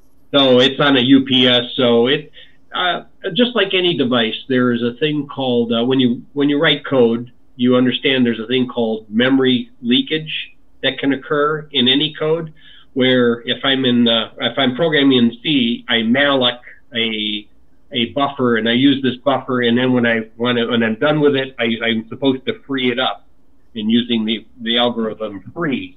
Um, however, that can also cause things called uh, memory fragmentation after you've allocated and freed up a number of random sized blocks.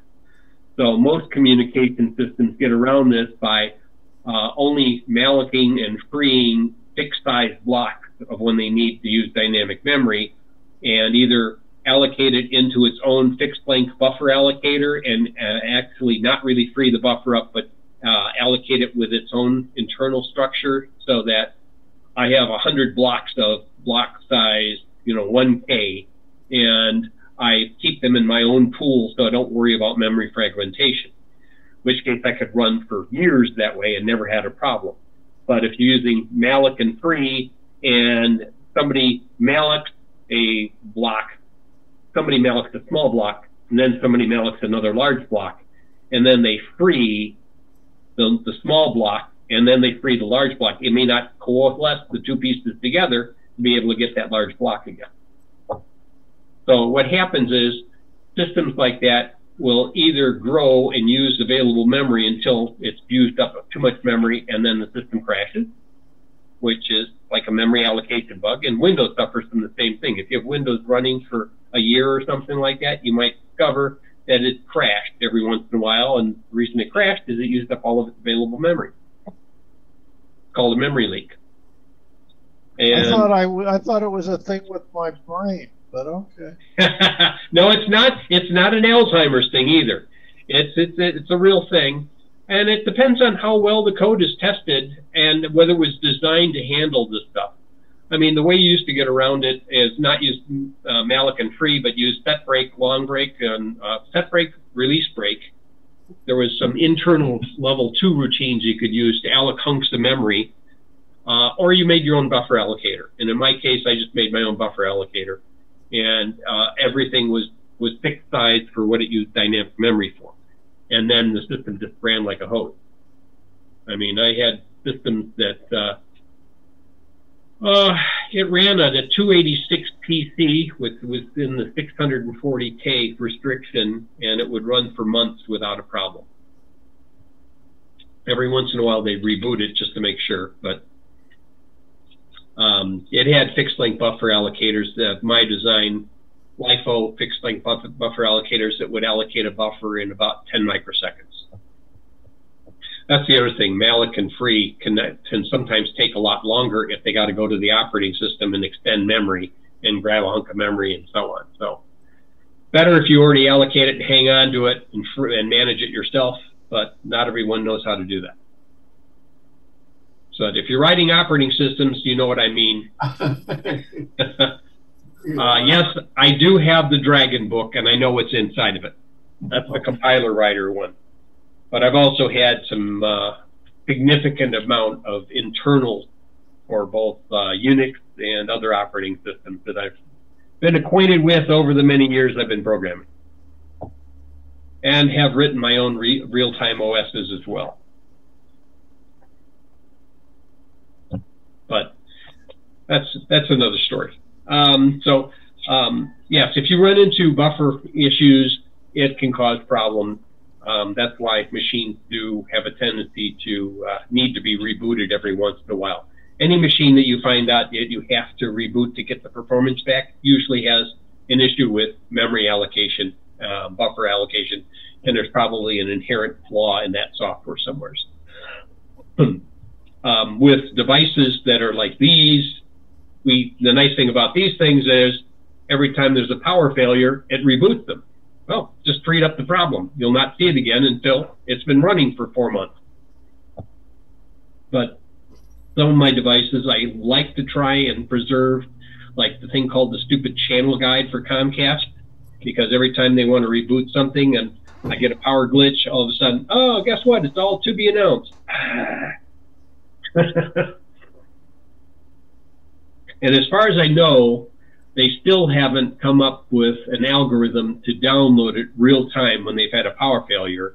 They'd rather just sit there and decode um, the channel and automatically pull the information down rather than, hey, go download the, the real channel guide from this source right now. Get it for me. Boom, done. No, doesn't do that way. Is X1 any better now? Right as X1 any better now? When you have motor, uh, Xfinity X1, um, does it get channel guide back immediately after power I've, glitch? I've no. never had a problem with it. I've had X1 forever. I oh, have the, but I have a 4K X1 box. Okay. I don't know if that makes a difference. Okay. Well, maybe that's the difference that they did. They finally fixed some of that because there never was enough memory for it to keep or download its own separate copy. So some of the older uh, converters did not quite handle it right.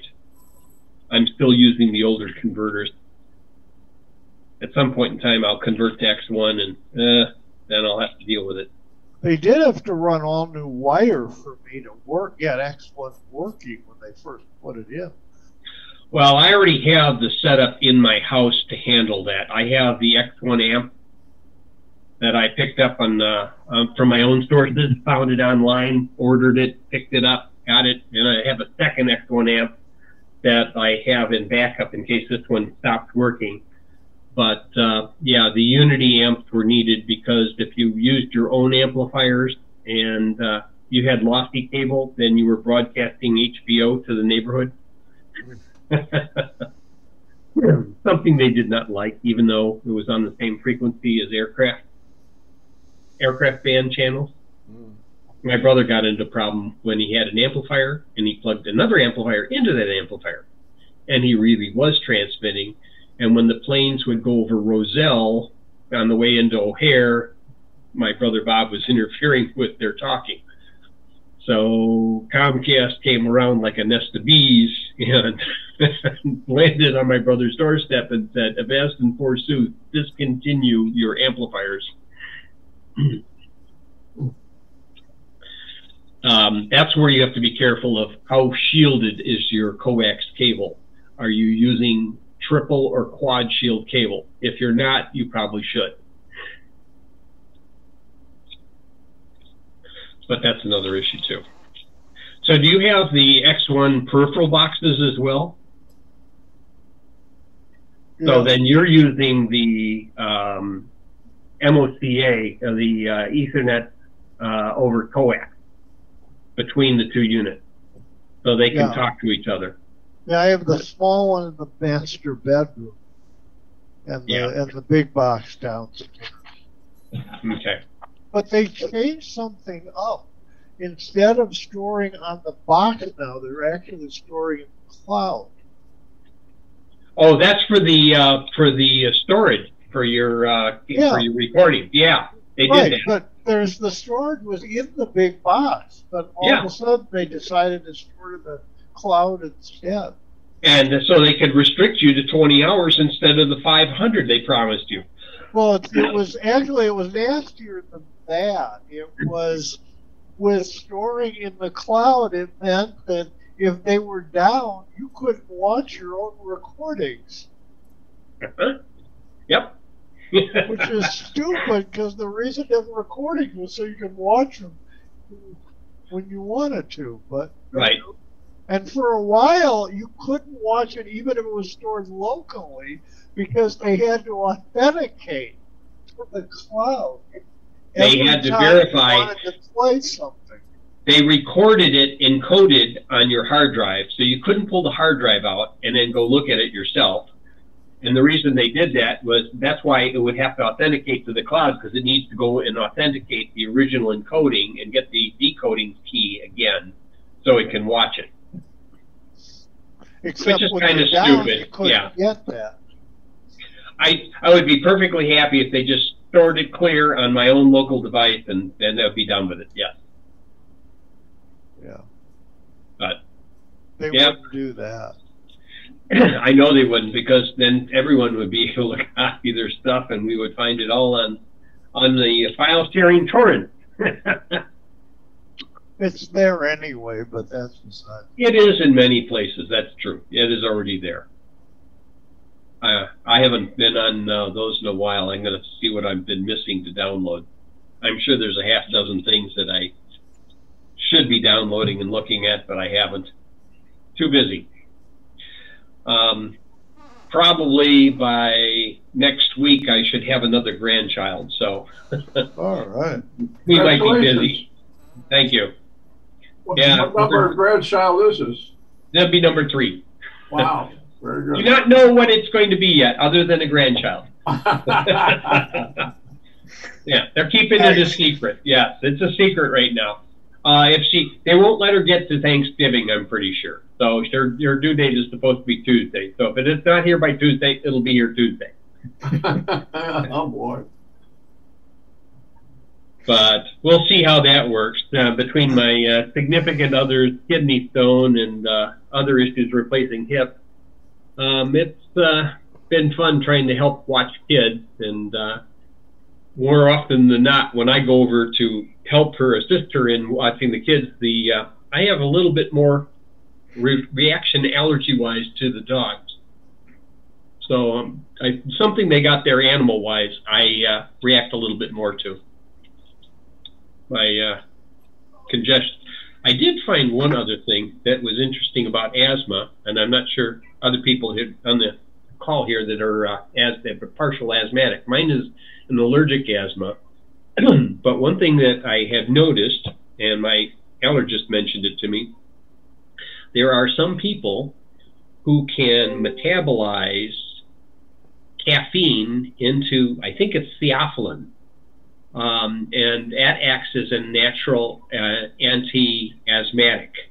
So when I have my four cups of coffee in the morning, um, I usually uh, don't even need to think about using my inhaler at all. Uh, I will eventually get around to using it, but my flow meter would indicate that I didn't need to use that inhaler at the time because of the caffeine I had. had. So, and I guess not everyone can, can do the same thing. It can metabolize caffeine into this theophylline. I think that's what it's called. But like that used to be one of the original um, solutions for asthma. Was before they had some of these in, inhaled corticosteroids. they had uh, basically caffeine. and I think uh, to some extent also um, some of the capsaicin has some similar effects as well. Although I don't think you're supposed to inhale that. Do we have uh, other questions out there? Well, you, you, when you're around the grandkids, like mine are young, you know, I get a lot of Sesame Street there and all the other stuff on the TV, you know, the kids watch. My, oh, my grandson knows how to put on Netflix faster than my wife can do it. Net, well, he's older, Netflix, yeah. No, he's five. really? Wow. He's five, and he, he can turn on the TV. All the they have a, they got, yeah. yeah, they have a 78 inch TV, and he can have that thing on and watching Netflix. And I'm pretty sure his sister can do it too, and she's three. And Well, whenever yeah, you're whenever you're yeah. visiting, it's more wise to ask the grandchildren how to get it on than the than the parents. Yeah, That's I right, mean, yeah. mine are pretty grade school too, so uh, yeah. Well, he uses an iPad. It's from school, and we have to restrict his time on the iPad. Although he's mostly playing games, he's not doing anything like breaking into it like I might be doing. Whoa! Anybody who can access the front panel of the device can compromise it. Yeah. You just that's if you have access to the physical hardware, you can compromise it. It's just a matter of time. That's one thing. Yeah, I don't care if they have TPM 2.0 or not. You know, you can still compromise it. There's a way to the hardware. You can do whatever you want. Take it apart, decode it, figure it out, then then wire it back up again, and they'd never know the wiser. yeah, go ahead, Sid. I just you mentioned TVs. Uh, Walmart just released their actual Black Friday deals. On on November 21st, they're doing a 65 inch TCL, and I have a 75 inch TCL with Roku built in for $228. uh, what kind of LEDs is it using? Organics? I doubt I doubt that, but I don't Okay. I'm not, but I'm not sure. But for two hundred twenty-eight dollars for a sixty-five inch 4K, that's fairly impressive anyway. Yeah, it is. Very. And, and with Roku built in, you figure the price of a Roku stick had that built in. Have you looked at all with the Roku smart home at all? I, I I have not. This set here has Roku in it, and I have a couple Roku devices.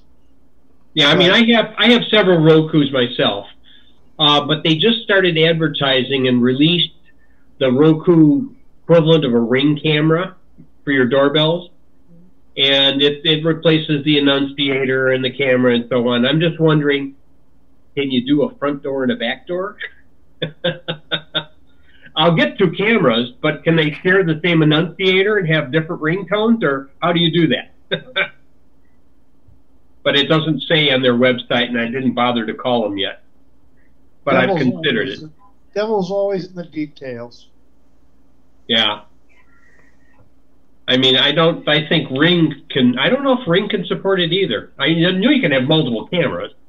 Uh, it's just that the question is whether or not, if somebody comes up to the back door or the front door, you want it to send the alert out that says, "I saw motion there," and whether or not it's going to detect it when my my my uh, one of the black squirrels comes up to the back of you and, and asks for a handout or not.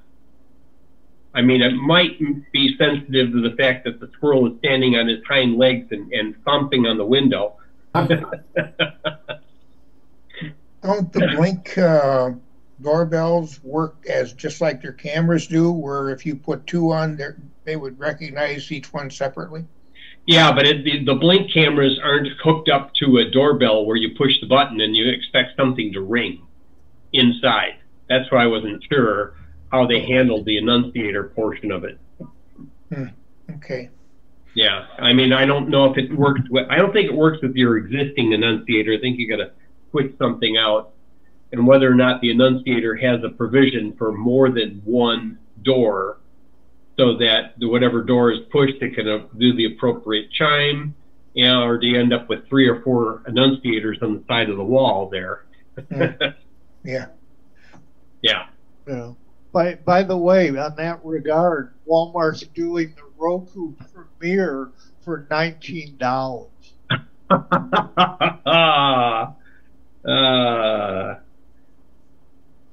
I I do like the the Premiere. It, it's finally got enough horsepower in it that I don't have to periodically check to reboot it and such.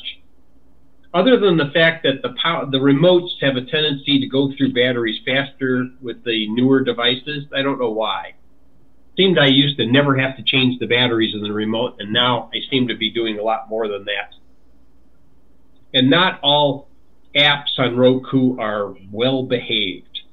There are some apps that make it very difficult to try and get out of the app and get into the main menu again unless I use to rip them up by the roots and said, home. I'm tired of trying to find the exit Netflix. Or do you really want to exit Peacock? you have to back, back, back, back, back, back, and wait for it to respond to the back. Back. Do you want to exit Peacock? Yes. I want to exit Peacock. I'm done with it. Because I always think that pressing the home button might be one of those conditions that you don't recover all of the memory that you allocated. That's usually another place where operating systems have issues is when you decide to terminate forcibly a misbehaving app and you don't wait for the app to release all of its memory night back to the pool from whence it was granted. Hmm. So, yeah, other good stuff.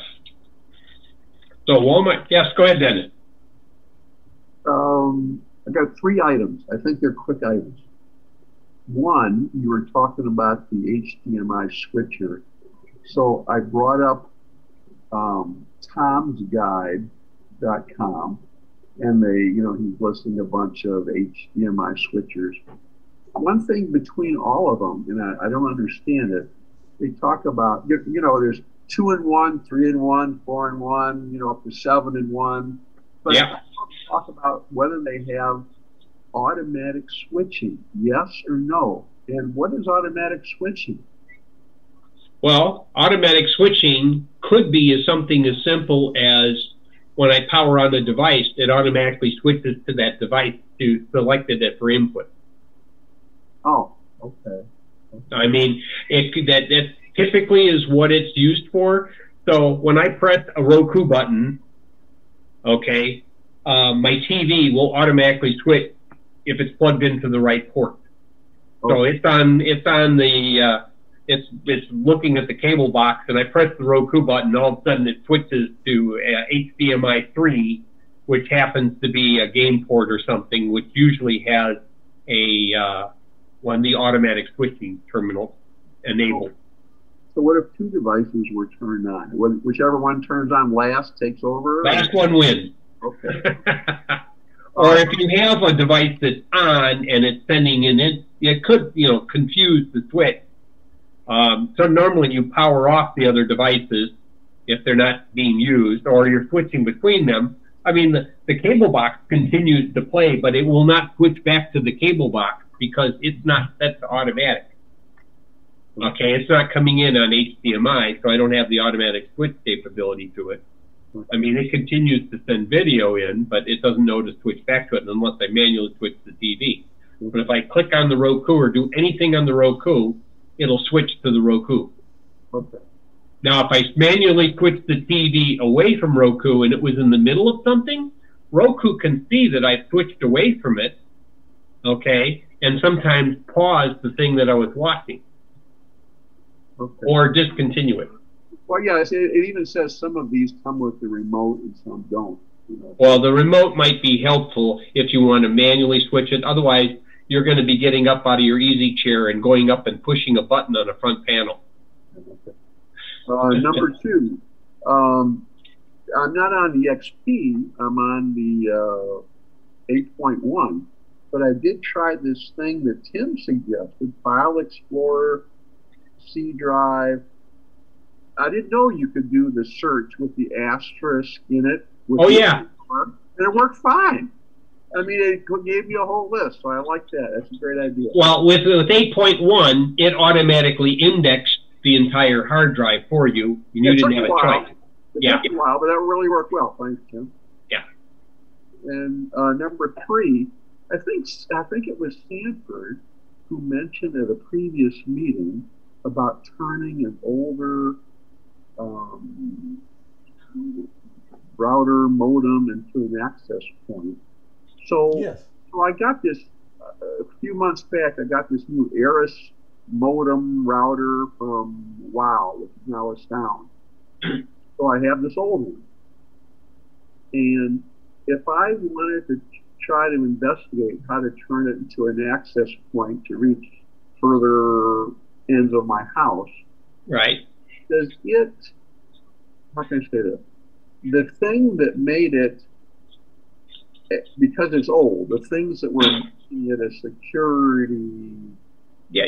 You what you would do what you would do if you did that, you would use an older technology which your laptop still remembers how to connect to.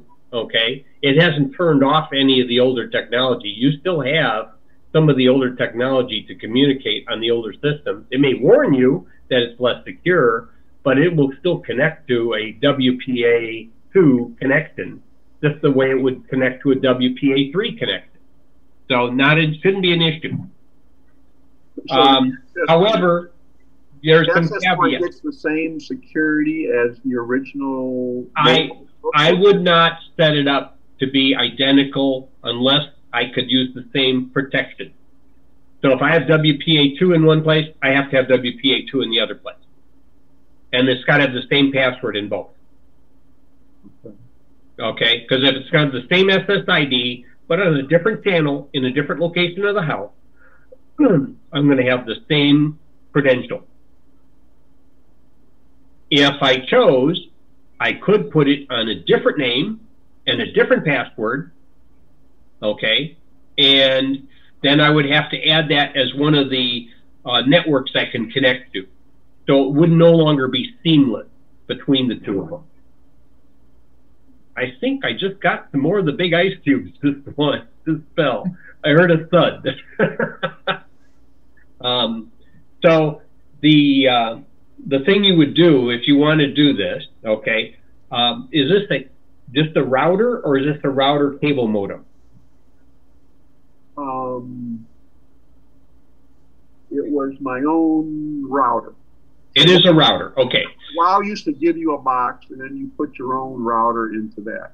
Okay. It is. It doesn't have a coax on it. It only has Ether. It only has uh, Ethernet connection and wireless.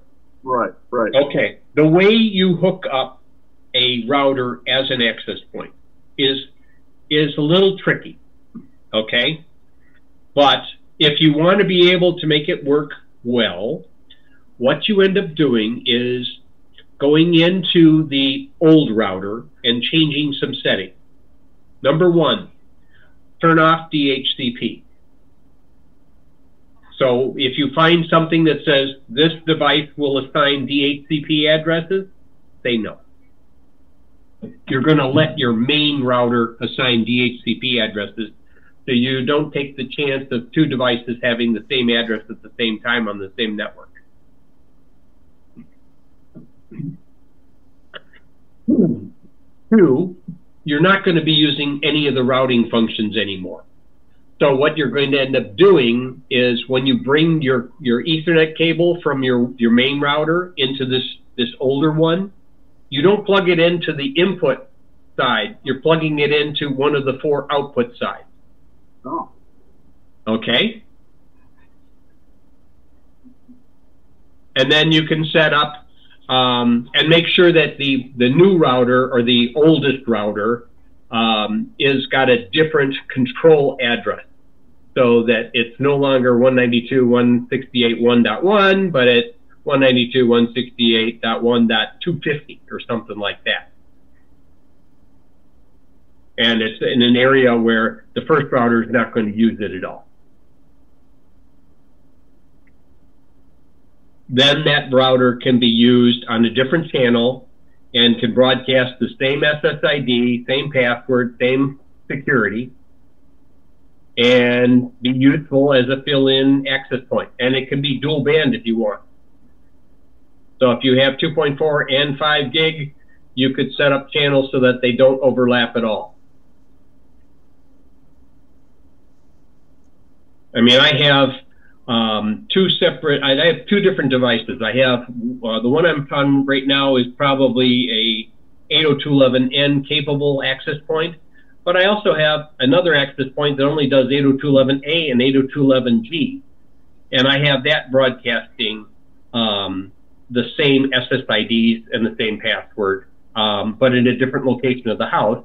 And 802.11a is just fine for Roku devices that are in a different section of the house.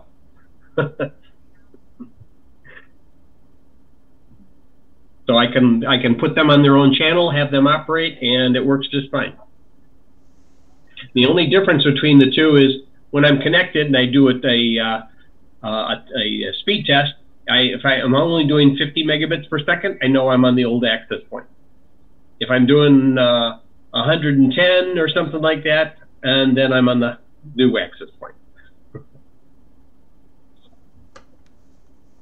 because they're both going to come up with the same name. They're going to have the same SSID. So how do you know the difference of which one you're on? Well, you really don't unless you check to see what channel I'm on. And that's not easily findable on your current machine unless you look at some in, uh, uh, internal statistics.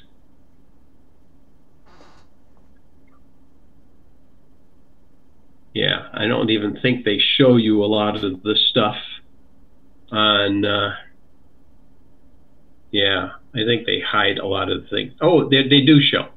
Okay.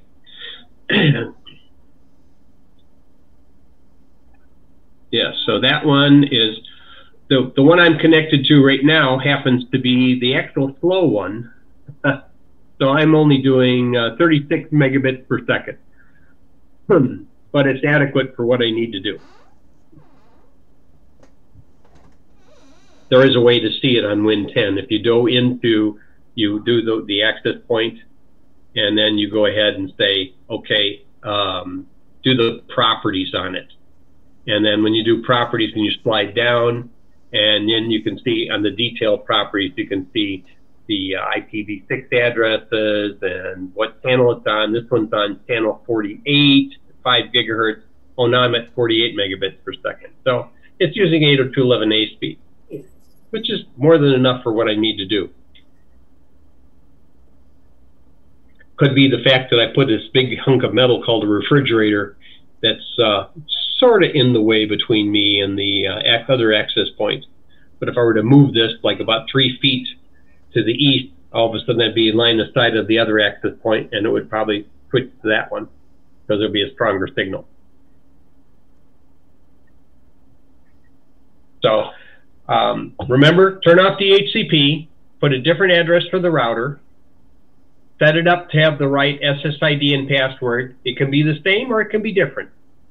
If it's different, that means when your signal gets too low on the one, your access, your uh, your laptop is going to hunt for a newer one. Just make sure it's up near the top of the list so it can find it before it tries to go to your neighbor's Xfinity, which you probably don't want it to do.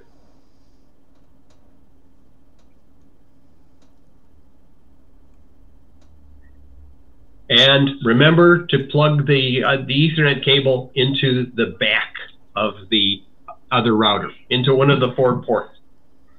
So the way it works is anything that plugs into the downstream port on a on a wireless router, in order for it to connect to um, any of the wireless devices, it has to let any packets that come in on those four ports on the downstream of the router have to be broadcast to everybody who's on the wireless side and also to the other ports on the thing.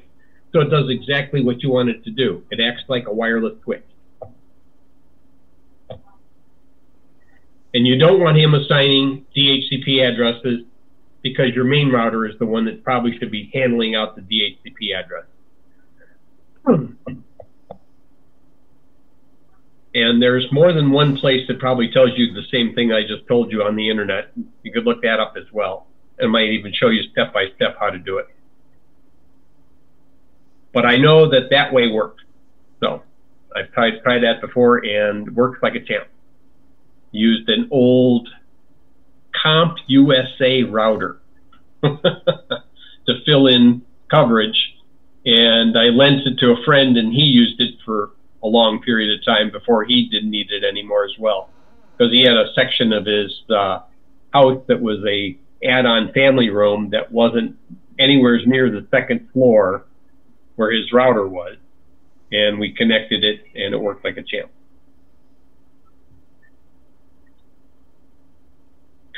Okay, any other questions? Good. No other questions? Good meeting. I had, you did a good, great job as always. Okay, cool. Well, I might, you'll see my next meeting announcement will be in January. Um, Happy December, yep, December they'll have a good time. Uh, I think, like I said, Southside or somebody else wanted to use my date, so I said it was fine. So, hopefully, um, you, I'll send out. I'll have another presentation ready, and we'll figure out something else. If anybody has an idea of what they would like me to try and present, send me an email. Have a good holiday and enjoy the new grandchild. Thank you very much. Yeah, yeah, yeah. Somebody else will have sleepless nights, huh? and I remember. That's, Oh, grandkids yeah. are there. I'm Yeah. here. yeah, I know. Uh, okay. Thank you very much.